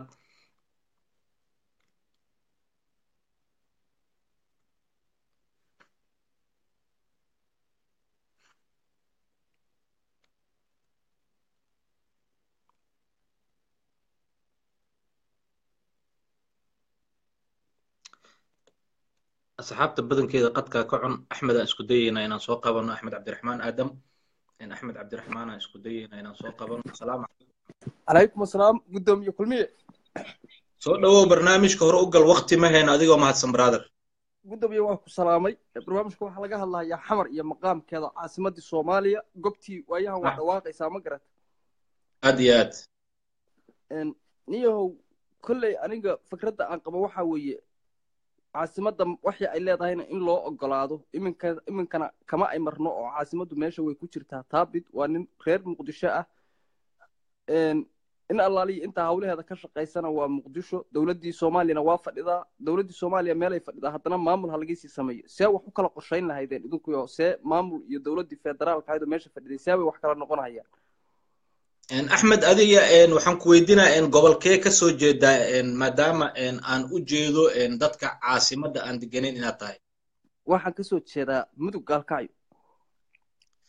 Gaalkacyo sidee maamul ku yeelanaysaa oo muqdisho maamul la'aan ay ku noqonaysaa ayadoo ka weyn ka dhaqaalo badan intaas oo maaragtay malaayiina ay ku nool yihiin sidee meel yar oo tuulo ah aa maamul uga samaysatay dad dhan oo meel gobol ah oo dowladdii iyo maamul goboleedka adiga lagaa xukumo maalgeliyo siduu maamul ku yeelan weyna aa u ogolaanaysaa walaal waagii dowladda soomaaliya ay jirtay gobol kasta horta maamul wuu lahaa. Markaan federalismka xitaa markaynaan ahayn gobol kasta maamul buu lahaa guddoomiyaha xukumaana maamul u ahaa. Macnaheedu maahan cabdiweli caligaas inuu yahay madaxweyne xukuma hadda puntland muhiimaddu waxa weeye deegaanka madaxweyne farmaajo wuxuu u yahay madaxweyne. Waa guddoomiyihiibaa gobolladoo dhan halka gobol kasta uu guddoomiye lahaabaa maamul goboleedyada qoladan sheeganaysa dhowr kiiba laba gobol ama saddex gobol waxaa looga dhigay guddoomiye marka nin magaalo ka fog caasimadii guddoomiye looga dhigay. Macnaheedu maahan inuu dowlad iyo maamul u gaara iyo meelu jooga ay tahay. Dalka soomaaliyana waa isku wada midoo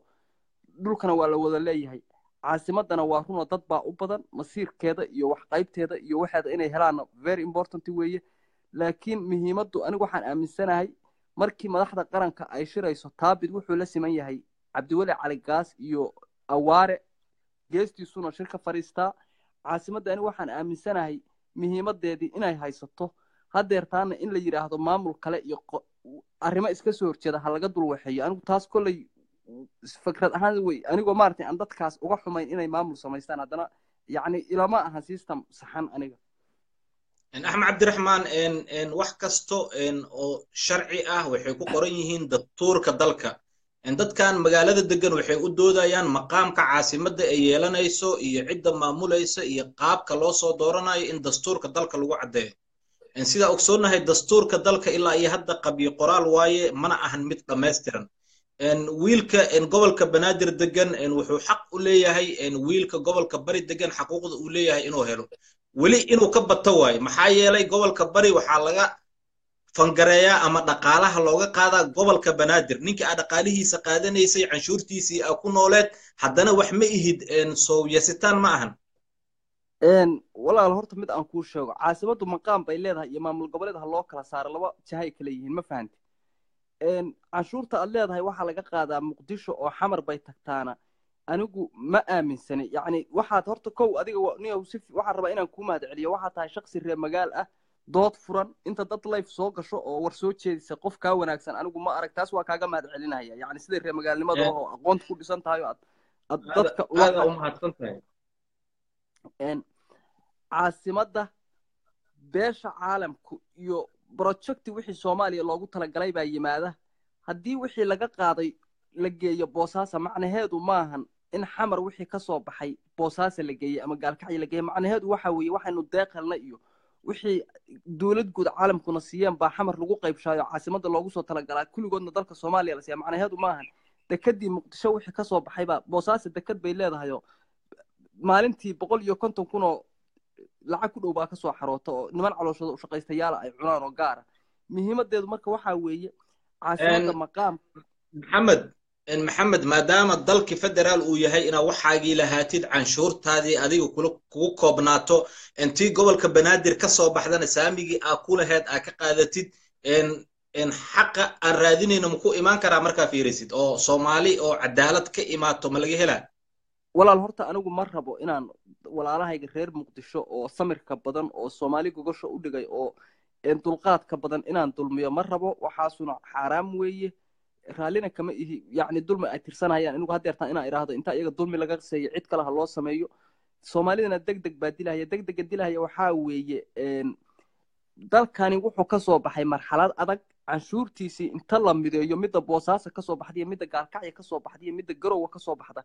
Muhiimaddu waxay ahayd inta dowladda centraalka ay timaado inta xamar lagu qaybiyo markaas in la kala qaybiyo oo maaragtay divide by la yidhaahdo gobol kasta wixii loogu talagalay caasimadda laga qaado mase dhicinoo system la'aan dalkii maadaama ciidan xukumo iyo nidaam wada xukumo iyo canshuur midaysan oo aysan jirin.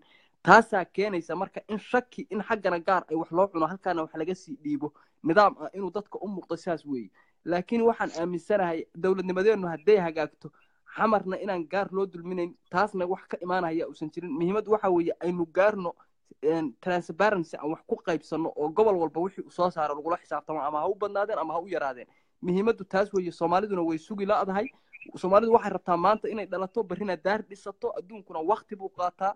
Marka sistamka dowladnimada aan sugna caasimadda beenqaankeedu waa qeexan yahay.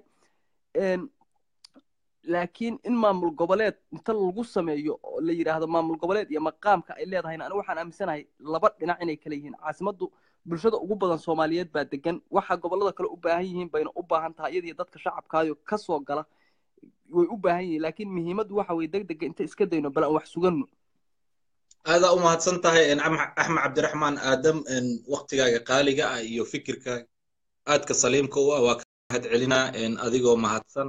Waxaan isku dayeynaa hal iyo laba inaan soo qabano. Abwaanad jawaahir oo runtii aan jeclaan lahaa caawa in ay soo korto haddii ay suurtagal ii noqoto waxaan kalentoor jeclaan lahaa maaragtay sacdiye iyo safiye labadaba waa soo qabana hadduu ilaah yiraahdo.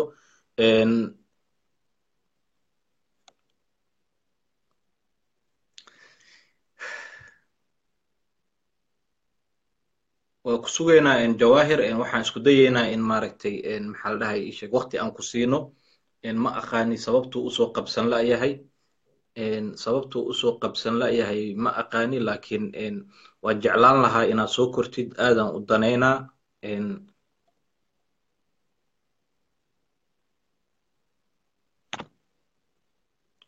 Jawaahir waa waa kugu soo noqonaa waa soo kori la'dahay. Safiyaan fiirinaa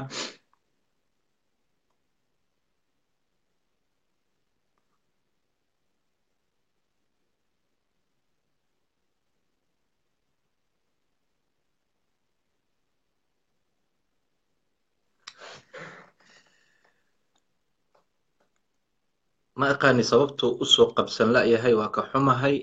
Safiyo waa soo qabsan la-yahay sacdiyo cilmi ayadana waa fiirina.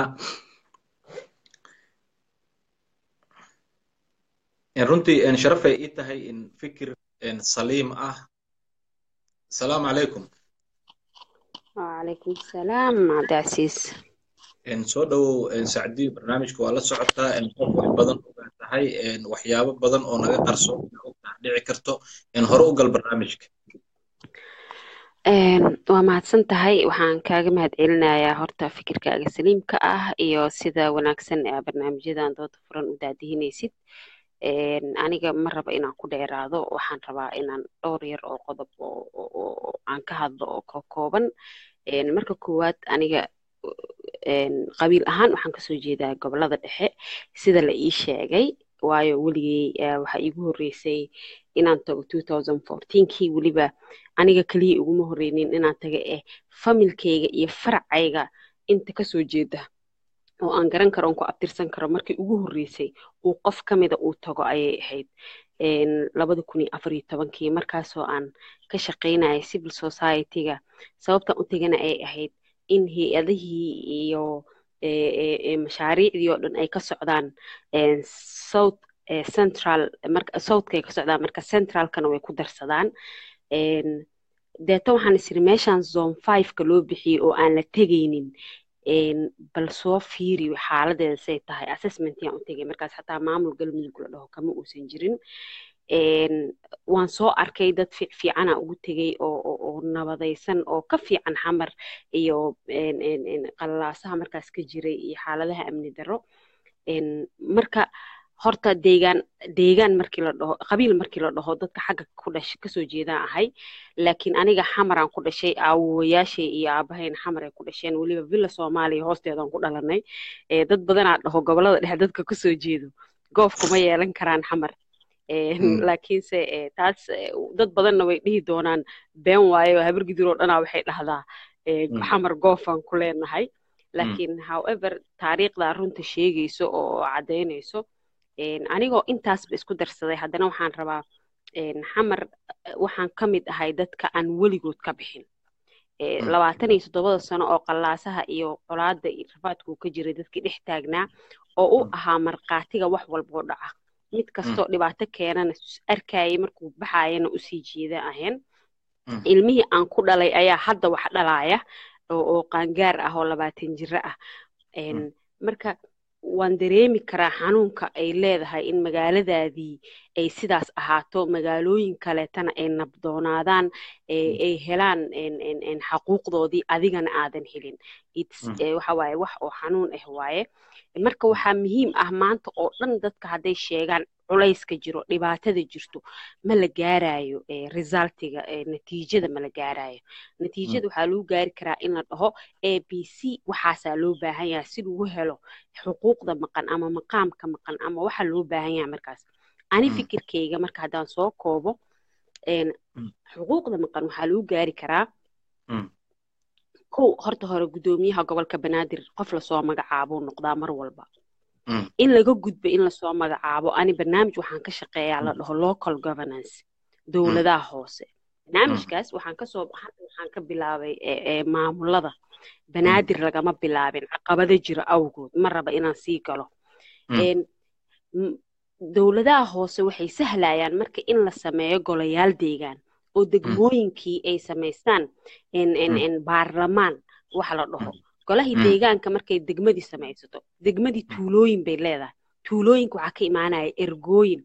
Ergooyinkaas waxay dooranayaan xildhibaanadii oo e hadday degmadii tahay iyo hadday b tahay loo kala qaybiyey hadday xildhibaanadii doorteen xildhibaanadana waxay dooran doonaan guddoomiyihii degmada halkaas waxaa lagu gaari karaa marka markii degmooyinkii la dhiso in la doorto guddoomiyihii gobolka. Markaas waxaa ismaanaya marka isla xisaabtan dhab ah iyo guddoomiye gobol iyo mid degmo ay shacabka min tuulo ilaa iyo degmo ay raalli ka wada yihiin. Markaas ayaa waxaa la dhihi karaa fine annaga marka gooniyaan nahay laakiin abow nin la magacaabay oo berina inta la bedelo mid kale la keeni karo stiil awoodba melid horta maxaa maqaam raadinaa waxyaabaha u baahannaha waa stagekaas inaan horta marno. Yani haddaan dhahno ka qaatay. Waxaa looga gudbi karaa inaan inta dib isugu noqono. Haddaan nahay hadda maamul baa jira gobolka banaadir ah ama hana loo magacaabo ama cirka ha laga keeno ama raalli dadku ha ka ahaadaan ama yaysan ka ahaanin. Inkastoo aan ku qanacsanahay kuwii hore iyo kan hadda joogaba anigu. Taabidna uu yahay wiil dhallinyaraa oo firfircoon oo initiatives leh oo aan anigu empower garaynayo dadka dhalinyarada ah. Ee taabidna dadku diyaas baray moodaane waqti badanuu xamar jooga hadda dhow wuu ka tegey. Aqoon dheerna waa u leeyahay shakhsiyan. Wax qabadkiisana wuxuu ku muujiyey in ka yar sanad. Laakiin wuxuu u baahan yahay haddeertaan inuu ka shaqeeyo asiga waxaa dhici karta inuusan asigu noqonin guddoomiyihii la doortay oo shacabka ay soortaan deegaanka. Laakiin wuxuu noqon karaa legend ka shaqeeya in la gaaro in la doorto guddoomiyahaas wuxuu marka taabit kula talin lahaa iyo gobolka banaadir maamulkiisaba inay maanta fursad bay haystaan. Annaga run waaye waxaan qabnaa dekedii iyo eeraboorkii waddanka ugu weynaa. Waxaana soo gala canshuurta waddanka ugu badan banaadir haddaan nahay haddana of course naguma filna. Saas daraaddeed waxaan haysanaa u n agencies iyo doonaro wadamo shisheeye ee deeq ku bixiya in dowlad wanaagga la kordhiyo. Wadamadaasna deeqaha waxay soo marsiyaan bartenaries ee u n-ka soomaalida u taqaano. Iyo hay'ado kaleeto wadamo kale ah. Lacaga waxaa jira loo ogol yahay in lagu dhiso golayaashii deegaanka. Degmada hodan degmada howladaag degmada dharkeenley degmada maxaa lahaa daynil whatever. Haddii marka taabid uu ka shaqeeyo in haddeertaan la gaaro asiga ama ha soo doorano ama aa mid kala doorane inuu horta golayaashii deegaanka inta dhiso gobol degmo walbeeto ay noqoto mid aan la soo magacaabin ama guddoomiye uusan magacaabin ama xildhibaan jeebka ku wato uusan keensan ee laga gudbo taas keliya ma keenaysa. Hadalkayga si fiican dhegeyso keliya ma keeni doonto. In in la in la helo maqaamka banaadir iyo maamulka banaadir oo madax bannaan keliya ma keenaysay xataa waxay keeni doontaa in la helo one person one vote oo qof walba oo soomaali ah oo mintuulo ilaa iyo degma ay registered noqdaan dadku ay tiro koob saxa la helo xildhibaanada qaranka ee haddeertaan maalin walba mooshinka keenaya ayagu ishayshaysta laga gudbo jareer iyo jileec loo sinaado qofka kursiga imaanayo waxqabadkiisana uu soo bandhigo oo dadka deegaanada loo wada bandhigo deetana sidaa lagu soo doorto. Waxaa kaloo la rabaa hadda inay ka shaqeeyaan si loo gaaro arrinkaas in federalismka la fahmo waa maxay federalism? Annaga federaalka waa maqluunaal ma ahee. Dadka aniga dadka ka shaqeeyaan ka mid ahay. Laakiin haddana dadka shacabka iyo annaga qudheenna oo ka shaqeyna ayaan weli aad u fahansanayn to be honest with you runta in laysku sheegaa muhiim ah. Federaalka looma bisla lama fahansana. Dadka qofba dhinacuu ka qaatay hal wada lagama haysto. Waxaa muhiima marka dowladda inay hadda ka shaqeyso inay dadka barto federaalka wuxu u yahay. Waxaa kaloo muhiima in la helo annaga federaalka noocee u qaadanay because federaalku wuu badan yahay sida democratic uu badan yahay oo kale. Federaalka annaga which kind of federalism aan ku apply garaynaynaa in la ogaado waayo? Taas markaa ogaana waxaa soo baxayso in ay dadku fahmaan waddada ay u socdaan. Hadday markaas fahmaan waxaa imaanayso resources sharingkii midda la leeyahay wax laga qaata lagama qaado boosaaso lagama qaado xamaraa laga qaadaa way ka baxaysaa. Dowladda dhexe waa inay resources ay u qaybiso dadka deegaanka aan resourcigiisa ku falnayn waa inuu kaba deegaanka aan lahayn. Sidee? Waa inay system samaysaa. See lagu samaynaa waa ina annaga hadda ka shaqeynaa. Marka somehow waxaa la moodaa marka qaar inaan over speed nahayoo wax aan la gaarin aan u orodno ayadoo la rabo inaad dhisto jaranjaradii dabaqa lagu kori lahaa dabaqii ma dhisi kartid. Jaranjarta inaad dhistid waayo. Annaga waxaa u baahannaha marka from the scratch horta inaa hadda wax la bilaabo. Ina adiga wax saxdo waxaa ku aflixaya kuwa kaa dambeeya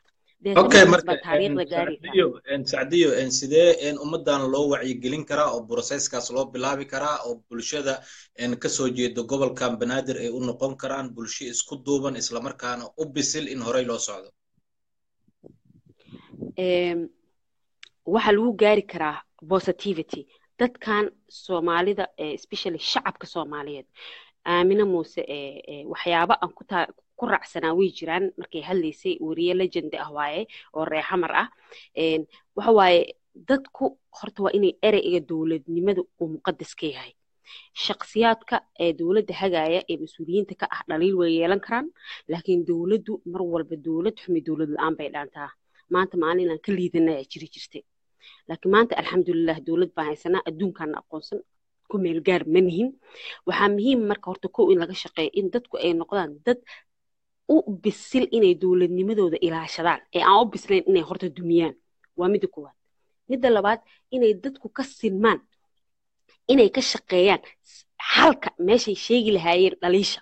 Because markaad dhaliil keento waa inaad xalka keentaa. Aniga fikirkeyga waxa waaye waxa keliya aan ku meelmari karna waxa waaye kow inaan annaga iswacyigelinno dowladduna ay ka shaqayso siday dadkan u wacyigelin lahayd. Siday dadkan uga shaqayn lahayd inay fahamsiiso waxa la dhaho federaalka meel kasta ay tagto waa waa maxay dowladihii hoose in la baro dadka? Sidee adiga guddoomiyahan markaad aad maalin dhexdaas waxaa dhacday degmada xudur. Aan waxaan ka sameynaynay ee southwest aan waxaa laga sameynayay golaha deegaanka. Xataa waxaa cajiib ah gabdhihii awoodoodii meesha waa ka maqan tahay. Iska dhaaf minoritigii ayay galeen. Xildhibaanadii golihii deegaanka gabar baa hal gabar baa issoo sharaxday. Annagana shan gabdhood minimum aan ka rabnay inaan gelino. Halkii gabar markay aragtay nimankii dhan oo meesha safan waxay tiri anigu waa iska baxay ma rabo. Waayaa la yiri nimankan dhan maan keligay ku jiraahay tiri. Waxay u baahan yihiin marka barnaamijka qaladka dhacaya wuxuu ahaa in waxay ahayd awareness badan la sameeyo in wakti fog la sameeyo wacyigelin si ay gabdhuhu u ogaadaan roolkooda waxay beri ku soo kordhin karaan waayo deegaankaas gabdhaha degan baahidooda kama turjumi karaan nimanka because waxaa jiro baahiyo gaar ay gabdhuhu leeyihiin. Waa inay helaan qof representative ah oo ku matala meesha. Marka waxaa loo baahan yaha wacyigelintu waa wax aad weyn. Maalin dhexdaas waxaan ka shaqaynayna barnaamij la dhaho inay dowladda yeelato guidelines u gaar ah dowladda soomaaliyeed oo ka hadlaya waxa la dhaho sloganka ama messageka waxa la dhaho fariimaha arrimaha bulshada. Sidee hay'adda unicef ayaa soo baxaysa waxay leedahay waxaan ka hadlayaa mashruuc ayadaa samaysanaysa oraahaheeda iyo waxa ay ka hadlayso. Qolo walba waxbay iska qortaan. Kuwa waa controversial kuwa contradiction waxba iska hor imaanaya. Waxyaabaha qaar dowladnimadii qarnimaday lid ku yihiin. Waxyaabaha qaar maamul goboleedyada qaar waxay ka dhigaan inay dowlado gaar u taagan yihiin oo soomaali ahayn. Hay'adihii ayaa waxay ku hayaan xataaba marka qaar walaaqid kaleeto oo aan aan aan aan aan la garan karin ujeedadooda waxaasoo dhan si loogu gudbay inay dowladda soomaaliyeed ayadu yeelato guideline u gooni ah oo ay dadka ku baraarujinayso una isticmaalayso wax kasteeto oo fariimaha ay bulshadeeda gaarsiinayso. Si ay uniform u noqdaan fariimaha ay dowladda bulshadeeda gaarsiinayso. Taas waxay sahlaysaa inay shacabku fahmaan fariinta dhabta ah ee gudbinayso dowladnimadu. Waxay see keenaya marka inay dadku fahmaan inay hadhowtii waxa loo socdo oo dhabta ay fahmaan. Because hadda facebooka imaaday social media hadda the first time ever weligay aan ka hadlo waaye barnaamij life markii iigu horeysa waaye waxa keliya oo marka aan caawa u doorbidayna wax kale maaha waxaan is leeyahay at least waxaad sheegi kartaa hal ama laba hala saxnaadaan dadka dhegeysanaya ama hala qaldanaadaan. Anigu aan is leeyahay gobolka banaadir iyo soomaali guud ahaanba waxay ku heli karaan hal oo keliya ah what is the solution? Oo aniga aan filaayo in ay tahay taabit iyo inta kaleeta ee lamidka ahba maanta inay ka shaqeeyaan si guddoomiyihii degmooyinka iyo golayaashii deegaanka lagu dhisi lahaa ayagoo ka imaadeen shacabka. Deetana loo gaari lahaa in guddoomiyaha gobolka ama madaxweynaha gobolka wuxuu raba ha ahaadee lagu doorto si cadaalad ah oo shacabku ay codeeyaan deegaankaas degan kadibna aan gaari doono insha allah madaxweyne annaga aan dooranay oo mustaqbalka ah kuubaya dad badanaa gacanta taagayo arrinta kaloon raba abo inaan ku daro raalli ahaw waxa waaye waxa kaleetoo muhiim ku ah oo dowladda federaalkana aan kula dardaarmaya dastuurka soomaaliya waa qabyo intuu qabyo yahayna annagana qabyo ahaanayna dowladdan hadda jirtaahi afar sano ma sii jiraysa haddayba gaartaba oo ilaahay nasiibkaas siiyo waxaan kula dardaarmayaa waxaa laga tagaa magac waxaa laga tagaa wax qabad. Haddaad qof mas'uula tahay wax markaa rabti inay kaa haraan waa inaad waxaa la dhaho hebel waxaasuu qabtay. Laguma dhahaayo hebel intaasuu xilhaayay xusuustaadu waa ina intaas. Waxaan leeyahay nimankan jooga hadda meeshan prime ministerka iyo madaxweynahaba iyo inta kaleeta ee la shaqaysa ee mas'uuliyiinta dowladda ah hadda ka shaqeeya inaad dastuurka dhammaystirtaan dowladdii xasan sheekh waxay ahayd inay dastuurka dhammaystirto inay maxkamaddii sare dhisto inay howlahaasoo dhan qabato inay one person one vote qof iyo cod gaarsiiso dowladdan ee ay ahayd waa la gaari waayey idinku dhammaystira oo intaas dhammaystira deetana waxaa la heli doonaa dastuur dhammaystiran ee qofkii ku xadgudbana la celiyo qofkii qofkii wanaagsanna uu ably gareeyo wax walboo qaldanna ay meeshaas ka saxmaan dastuurkana reviewga markii lagu samaynayo in loo dhammaado meeshaas oo ay ku bixi doonto wax la dhaho kala sarrayn iyo kala iyo isla weyne iyo qabyaalad iyo gobolaysi iyo oo federaalkana si saxa dadka loo gaarsiiyo. Aada u mahadsan tahay sacdiyo cilmi waktigaaga qaaligaana waa kaaga mahad celinaa insha allah waxaan rajeynaa barnaamijyo kale oo maaragtay nidaam wanaagga iyo solutionka dadka deegaanka qaabka isku xalin lahaayeen waa kugu casuumi doonaa. Aada u mahadsan tahay adaa mudan adaa mudan waxaan isku dayaa laba qofood inaan soo qabto barnaamijkan waa soo gabagabeynaynaa waqti dheer aan ku jirnay awgeed. Waxaan isku dayaynaa cabdullaahi cilmiya hadda dalabnay inaan soo qabano waa daala runtii waa dareemi kartiin. Qof maanta oo dhan fadhiyey waxaan u malaynaa xalka aan rabno habeen maku gaarayno. Salaamu calaykum cabdullaahi. Calaykum salaam waraxma adigoo soo koobayo waktigii ugu dambeeyey barnaamijka ku jirnaa waa daalay runtii aadaan uga xumahay caawo dhan in maaragtay aad gacanta soo taagan weysid hore u gal barnaamijka. Dhammaan bahda barkulanka waan idin salaamayaa. Dhammaantiin asalaamullahi calaykum. Haddaan idiin soo koobo nidaamka dowladnimada ee soomaaliya. Waa nidaam ugub ah. Muddo kooban jiray kana imaan isku tanaasulka soomaalida ee ka yimid wax dusha looga keenay. Waxaa dusha looga keenay dadka waxaa ka maqan ilaa hadda waxa la lahaanshaha. Haddaad lahaansho dareemaysid dabadeedna waxaad la imaanaysaa wixii inaadan cidna kaa xigsan. Wixii markaa adiga karaankaaga ahaana aad ku lumiso haddii uu tanaasulkaaga baahan yahayna tanaasulka aad la timaado si aad waxaaga u gaadho okay cabdullaahi soomaali way kala tagtay dhibaataa soo kala gaartay wixii waa laga soo kabsaday qarannimo inaan qaadanaan diyaar u noqonay haddana dad baa xaquuq weli inay ka maqan tahay tabanayo sidee xal loo heli karaa annagoo isjecel wada hadlayno aanan isfogeynaynin isna nacaynin anoo aan kaa dhexgelin waxaan leeyahay xalka soomaalida wuxuu ku yaallaa dastuurka ummadda waxay u baahan tahay dastuurka inay fahanto. Dowladnimadu wuxuu ka bilaabayaa dastuurka qofka muwaadinka. Halbeega asaasiga ee dastuurku siinayo dowladnimada waa muwaadinka. Muwaadinku wuxuu siinayaa xaq iyo waajibaad. Horta heerka qofka soomaaliga waa inuu fahmaa. Waxa weeye halbeega dawliga wuxuu ka bilaabanayaa qofka muwaadinka. Matalaadu waxay ka bilaabanaysaa qofka muwaadinka dastuurku markaas dabadeed wuxuu sameeyey saddex heer oo dowladeed. Oo dowladnimada soomaaliya ay ku salaysan tahay. Dowladda iyo dowladda guud oo federaalka ah. Dhammaan waxaa loogu talagalay heerarka kala duwan ee dowladda laba waxyaalood in lagu xaqiijiyo. Mid waa midda koowaade waxa weeye in awoodda la baahiyo oo dowladnimada qof kasta ay gaarto qof kastoo muwaadina oo cirif kastoo soomaaliyeed ku nool dowladnimadu inay gaarto. Oo dowladnimada la baahiyo. Federaalku maaha dowlad qaybsi. Ee waxa weeye baahinta dowladda in dowladda la gaarsiiyo qofka muwaadinka maaha deegaan keliya qofka muwaadinka in la gaarsiiyo. Qodobka labaad ee dastuurku uu xalinayana waxa weeye waxa la yidhaahdo representation. In cid kastoo muwaadina oo meel kastoo soomaaliya ka mida ku nool ay hesho cid wakiil ka ah oo ayaga danahooda iyo baahidooda ka turjuma. Ay dareemayaan waxa weeye haddaan u soo laabto.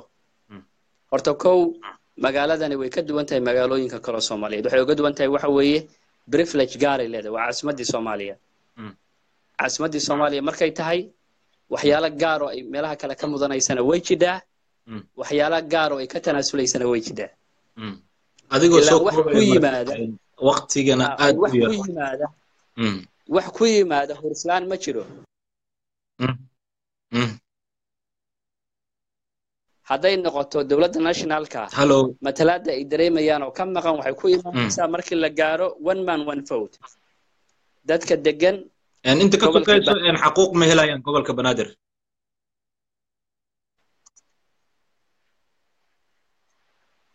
one man one vote waa in la xaqiijiyaa sida dastuurku qorayo. One man one vote in la gaaro oo qofka muwaadinka ah qofka xildhibaanka wakiilka ogan ahaan lahaa dhinaca dowladnimada.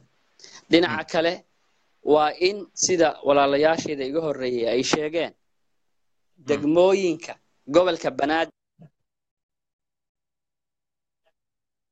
degmada gelaya dadka qaranka u matalaya intaba ay noqdaan kuwo ku yimaado toorashada dadka deegaankaas degan waxaa soo haray arrinta khayraadka oo aad mooday xataa soomaalidu inta badan inay ka sharqaminayeen adiguna aad soo qaadatay gobolka banaadir waxaad tidhaahdeen dakhliga ka soo baxa gobolka laguma celiyee dowladda federaalka ayaa waxay u isticmaashaa in shaqada dowladda lagu maamulo arrintaas arrintaasu waa arrin dareenkeeda gaarka iska leh.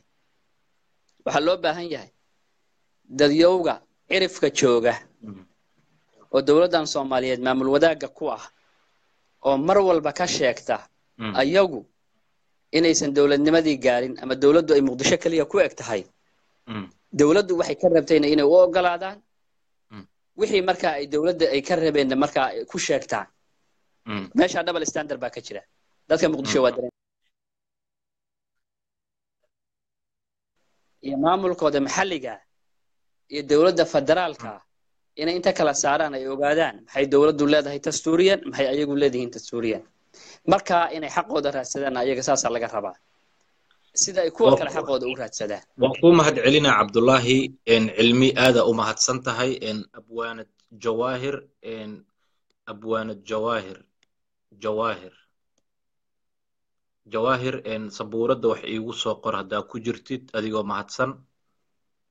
Jawaahir haddaa ila socotid wax soo qor adigoo mahadsan. Jawaahir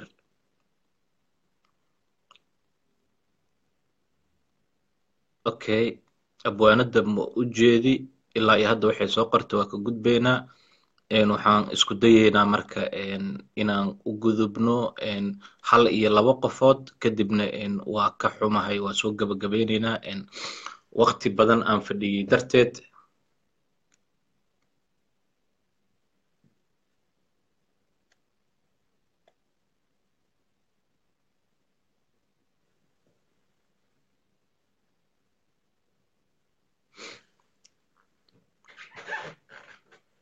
sofia waa soo qabsan la'yahay aadaan uga xumahay boqoradeyda waa kaa gudbeenaa. Waxaan isku dayeynaa marka hal qof inaan soo qabano. Kadibna waa soo gabagabeyneynaa barnaamijka. Abshir. Naciim waa ku soo qabanaynaa abshiraan kugu xijinaynaa waa soo gabagabeyneynaa hadduu ilah yaraado. Asalaamu calaykum wacalaykum asalaam waraxmatullah wabarakaatu eh, waa ku salaamaya walaalkay. Waxaan u mahad runtii eh, barnaamijkan runtii soo qaban oo aad maaragta u qiimaha badan lagana dheehan karo inuu yahay wadaniyad iyo maaragtay eh, inuu siyaasadaysan yahay oo aad iyo aad u aslugaysan yahay. Waa ku mahad waxaan rabaa marka haddaan marka barnaamijka guda doodii aadan ula socday. Inaan ka dhawaajiyo horta marka ugu horeysa. Guddoomiye thabit oo aad loo ammaanay inuu wax badan halkan ka qabtay. Horta dalka dhan ayaa maaragtay u muufgaraynaya ama u socdaa dhanka horumarka. Waxaana laga soo baxayaa dhibaato waqti badan kolley haysatay. Qof kastoo yimaadaana waxaan is leeyahay hawl hore loo wada ayuu hore u sii dhaqaajinaya marka inuu hawshii hore u sii wada waa ku ammaanay. Waa mahadsantahay marka intaa uga marka intaa uga baxo niyahow soomaaliya sida waxa weeye marka horeba waxa la yidhaha federalism waxaan is leeyahay aniga waa lagula qaldanaa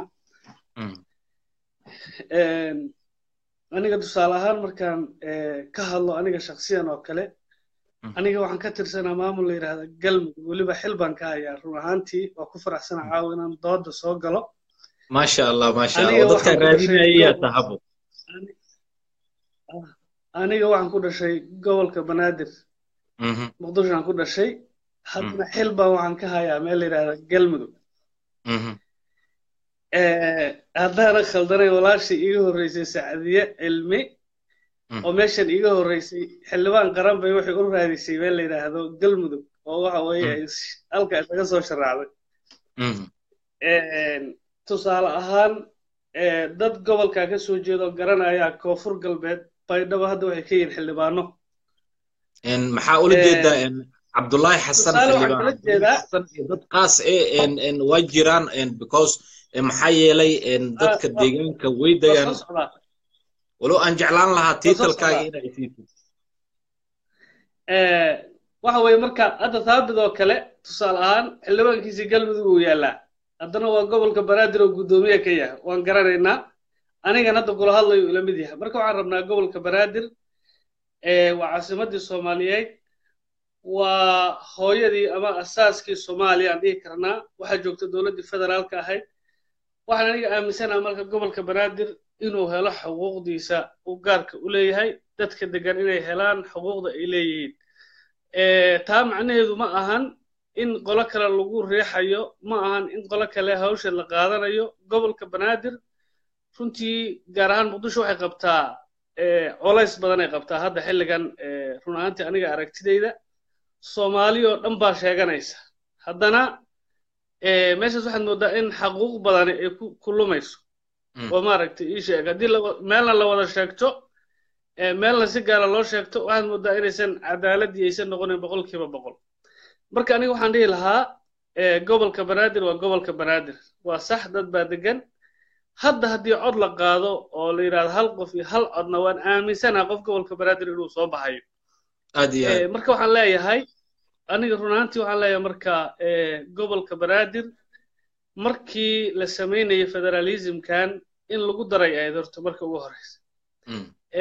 Barnaamijka dhahaya dastuurka ayaa maaragtay ii sheeg kuma taalo ama saan waayo waxaan dhihi lahaa dastuurka weli waa qabyo weli wuxuu processu ku jiraa lama dhammaystirin mana dhammaystirmayo ilaa dalka soomaaliya inta laga nabadeeyo shacabka cod laga qaado somalilan ay ku soo biirto soomaaliya oo maaragtay dib loo mideeyo ma dhammaystirmaayo macnaheedu marka laguma xiri karo gobolka banaadir dastuurka soomaaliya laguma xiri karo. Waxaan qabaa marka maadaama horey looga gaabiyey in hadda gobolka banaadir sidii walaalka iga horreeye sheegay waxaa jira maqaam caasimadeed iyo waxaa jira waxa la yidhaahdo maamul goboleed. Labadaba waa la iswaafaji karaa haddii lagu talagalo caasimad waaye waxa waaye khayraadka ugu badan dalka ka soo baxa waxaa la samayn karaa gobol walba ee dalka ka midana khayraada ka soo baxa. Waxaa la rabaa markaas in khayraadka inta la mideeyo meesha khayraadku ku badan yahay percentage looga jaro meesha khayraadka yar. Ilaan dalkii waa isku hal dal waa isku hal dal laakiin meesha looga jarayo oo dhaqaalaha yar ay ogaato in gobolka banaadir ay maaragtay ka hesho tabarucaad intaa la eg percentage intaa la eg. Sanadkii ama bishii ama wixii loogu talagalo marka waxaan dhihi lahaa aadaa loola daahron ahaantii in gobolka banaadir loo sameeyo maamul aan la soo magacaabin ee la soo doorto. Anugu ka shaksiyana waan soo dhoweynayaa waxaana leeyahay bulshada soomaaliyeed xaqa yuusan baadilka u ekaan. Qof kasta ee qof walba ee soomaaliya xaq waxa uu leeyahay gurigiisa inuu maaragtay maamulo nabadeeyo si uu ula sidno qof kasta oo soomaaliya oo kaleo meel kaloo nabada ku nool. Waa mahadsan tahay abshir cabdi haddii xildhibaan ama xubin sare ee galmudug ka mid a aad tahay waa kaaga mahad celinaa waqtigaaga qaaliga ah iyo fikirkaaga wanaagsan waxaan rabaa inaan u gudubno abwaanad jawaahir ayadaana ku soo qatimeynaa waqti dheer oo aan ku jirnay darteed insha allah hadduu ilaah yiraahdo waxaa idin ballan qaadaa barnaamijyo kan oo kale ah oo aan cid gaara lagu dulminayn ama qof gaar ah lagu caynaynin oo danta guud looga hadlayo in aan qaban doono hadba wixii aan u aragna inay bulshada faa'iido u leeyihiin annaga oo qof kasto fikirkiisa soo dhoweynayno ayadoo la iscaynaynin dood furan waxa weeye haddaa wax qabtid inaa masraxa imaatid waxa aad tabanaysid aad sheegatid waxaan u mahad celinaa runtii dadkii waqtigooda ii lumiyey oo caawa runtii sida hagar la'aanta ah halkan u daawanayay dadka ka qaybgalaya barnaamijkan. Runtii sharaf gaara ii tahay qiimo weynay ii tahay intaan qof oo walaal ah oo wanaag iyo dadnimo aan isku baranay halkan ku wada samayna barnaamij noocan ah mar labaad iyo mar saddexaad waa mahadsantihiin abwaan jawaahir waa ku soo qaban waayey waxaan ku soo qatimaa gabadha ay yiraahdaan naciimo naciimo maku soo qaban karayo because gacanta soo taaga meesha commentiga laga bixiyo agteeda kamerada soo dalbo haddii aa imaqashid adigoo mahadsan naciimo maxamuud haddii aa imaqashid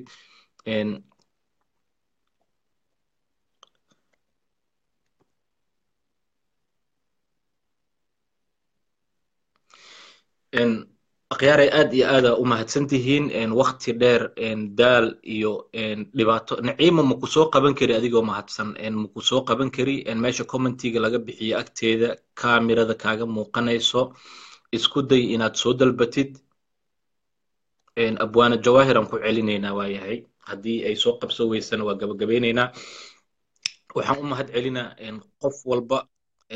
Salaamu calaykum wacalaykum assalaam cawad waa ijactaniseene bismillah. Culeys maxaa waaye? Waa lagu soo qaban waayeweyse laakiin faniyaabataa adiga cawad waxaa dhaca bajaq maa ka buuxda.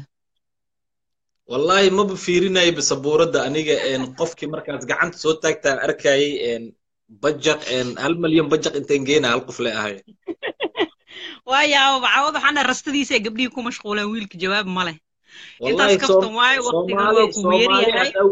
haddaa soomaali weydiis hadda cayma kuu weynayaan koodhe dadaa ku dhahay madax muxuu iskaga soo shanlayn waaye aan soo dhawow jawaahir aadan u faraxsanahay inaad barnaamijka barnaamij fiicana noo furtay oo aan muddo badan sugaynay. Mhm. Horta sheekada baani maanta dhan waa dhegaysahaya kowdhe muhiimadda meesha ku socotana waxaa waaye xaqa mhm. Okay dhibka jira waxay tahay eh, ma si dastuura lagu raadiyaa ma si sharciya lagu raadiyaa ma si qabaa'ila lagu raadiyaa haddii qabaa'il yidhaha horta isbaaro badanaaba noo taalabo okay hawiye oo dhan wuxuu taagan yahay xamar annagaa iskale haye. Hoosaa loo dhacay hiraab oo dhan waxay taagan yihiin annagaa iskale haye. Hoosaa loo sii socday mudulood oo dhan waxay dhaheen annagaa iskale abgaalaa loo sii dhaca annagaa iskale. Mhm, okay marka dhibaatada meesha taalaa waxay tahay yaan la doodnaa yaan dhahnaa xamar yaa iskale yaa xamar nagu haysto see xamarna lagugu haystaa xaqiisa xaggee ka raadinaa wax badana isku aa isku lifaaqan. Jawaahir ma laga hadlaayo abgaal keliya waxaa laga hadlaa dadka xamar deegaanka ku ah oo xaquuqda ku leh isla markaana aan xaquuqdooda haysanin sidee xaquuqdooda ku heli karaan? Okay xaquuqdooda waxay ku heli karaan inay og yihiin horta ma ka maqan tahay. Marka ogtaa adiga wixii kaa maqan taas waaye barnaamijkan dood furan een qofkii wax tabanayo in maaragtay araahdiisa asiga oo aan caytamin ku soo gudbiyo een mashruucan waa mashruuc ka bedelan leefyadii la soo geli jiray facebook oo qofka wuxuu rabo asiga dadka uu sheegi jiray aniga waxaan fursad u siinaynaa qofka in uu hadlo oo dhibaatadiisa sheegto si dadka ay qusayso u gaarto. Okay dadka ay qusayso xaq waxaa horta ka horeysa dhibaatada iyo tacadiga ku socdo. Dilaa ku socdo qaraxyaa ku socdo fooqal caqliya hantiyaa gubahaysa aflaa saac maalin walba suuqyaa gubto qaraxyaa dhaco dadaa khasaare gaartaa dadaa maanta dabkooda shida karin dhibkii qaraxi ka dhacay daday maanta curyaamisay dadaa maanta aan awlaadooda ku waayey oo xoogga u ahaayo wax u soo dhiciyahay taas waxa ka hadlaya ma arkaysid. Xil haddii la yidhaahna maanta dhan waa hadle okay ninka xilka kuu fadhiya caawa ma arkaysid ade daaraas daawo haddee kuu gasho ma soo helaysid. Mhm, matalaad sagaal xildhibaana ku leenaha baarlamaanka. Mhm, markii gobolka banaadir laga hadlo dadka u dhasha. Caawa mid ka mid a haddee daawo kuu gasho ma helaysid. mhm. Marka dhibaatada jirtaa waxay tahay cabdi cabdicasiisow yaan la xisaabtanaa yaanse ka xisaabtanaa mii fahamta si fiican ya okay horta aan helno sagaalkaas xildhibaan inaan miiska la fadhiisano sagaalkaasaa xaqeena ku xiran yahay haddeenna matalinna aan iska bixino sidee ula fadhiisanaysaa waddadee u maraysaa yaa kugu xirayo waxaasoo dhan waxay rabaan shaqo waxaasoo dhan waxay heli waxaa samey karo dhallinyaradii shalay markuu qaraxa sooba dhacay gambada gaduudan soo xirta oo taabid xambaaraya. Dadkaas albaabka baarlamaanka waa jebi karaan. Lixda faraxsanahay meeshay ka raadsaayaan way yaqaanaan. waxaan ku faraxsanahay horta inaa fariin fiican aan gudbino een, ilbaabaa la jebinaa markii la dhaho waxay noqonaysaa in nala soo raadiyo oo la yidhaahdo waxay abuureen kacdoon dadweyne een, horta waxaan jeclaan lahayn wax walbo nabad iyo wanaag in lagu dhammeeyo. In annagoo fiirinayno marxaladda dalka okay uu ku shalay jiro. markii cabdicasiis oo shalay markii oo qaraxa sooba dhacay dhalinyarada wax may jebiyeen wax may haleeyeen. May waxay laakiin qabteen waajibkoodii muujiyeen inay dhib ku dhacay ee ka gilgisheen maho waa inay dhibkaasoo kale ka gilgishaan ee baarlamaanka hor istaagaan ee dhahaan xaqeena aawa dhalinyarada gobolka banaadir u dhalatay waxbarashana ma haystaan caafimaadna ma haystaan amnina ma haystaan okay, waxaa laga hadlaa adiga waxaa tahay qof codkar eh abwaanad en suugaanta wax ku cabiro maadaama caawa barnaamijkan ay igala qayb qaadanaysid maxaa jeclaan lahayd inaad fariin gudbisid aniga fariinta aan gudbihayo waxay tahay oo aan kor iyo hoos ula hadlaa dhalinyarada gobolka banaadir. Oday dhaqameed meel iska saar. Oday dhaqameed sheekadiisa si fiicanaa looga dheragsan yahay. Oo maantaba haddaa tiraa nin mas'uula kaana noo keen nin cilmi leh oo jagadaas u qalmo oo wax soo dhici kara ma keenayaan ma fahamta? Mm. dhalinyarada ayada ha israadsato dhalinyarada ayada baahidooda bannaanka ha dhigta dhalinyarada ayada ha u gurmato ha tiraahda waxaasaa naga maqan iyo dhibkaasaa naga maqan iyo baahidaasaa na hayso. Macquul ma aha in maalin walba dadki xasuuqna lagu haayo dil lagu haayo qarax lagu haayo waxbarasho ay maanta xaqooda helaynin caafimaad ay helaynin albaabay u garacdaan aysan lahayn. Waddanka sharci male kala dambayn male oo maanta haddii la yidhaahdo ardaygan meeshaasoo xaqiisa ka raadsan karaa maanta maba la iska daba raacsan lahayn ma fahamta laakiin dadka matalaayo waa inay la xisaabtamaan runtii waxaan ku faraxsanahay dalka Holland inaan ku kulannay xaflad wasiirka warfaafinta lagu soo dhaweynayay. En waxaan u maleynayaa suugaan badana meesha ku cabirtay habeenkii markii iigu horeyso ani adiga aan kulanno. Waxaan jeclaan lahaa marka adigoo dhanka wixii lagugu bartay wax ku cabirayo fariin yar oo gaaban.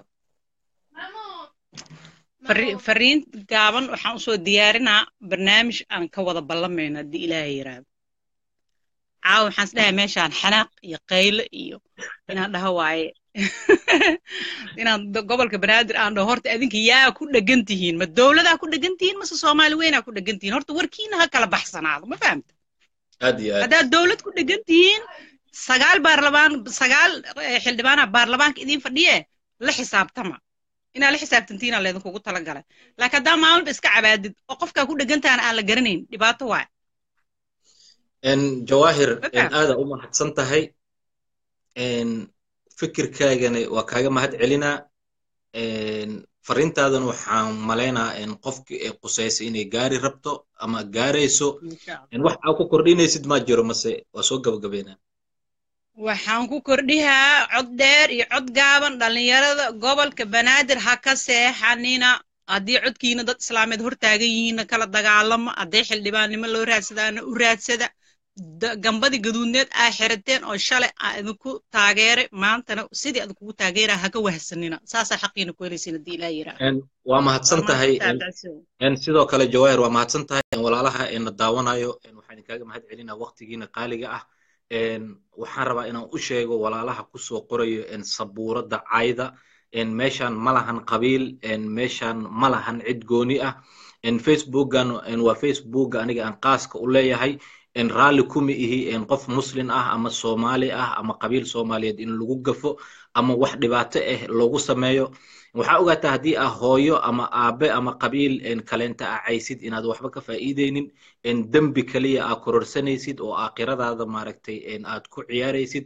Ilaahay subxaanahu watacaala awaamirtii uu faray oo dadka in ay la noolaadaan aa ka fogaanaysid. Waxaan idinkaaga mahad celinaa in waqtigiina qaaliga ah sidaa ii geliseen. En barnaamij kale intaan ku kulmi doono waxaan idin leeyahay. Asalaamu calaykum waraxmatullaahi wabarakaatu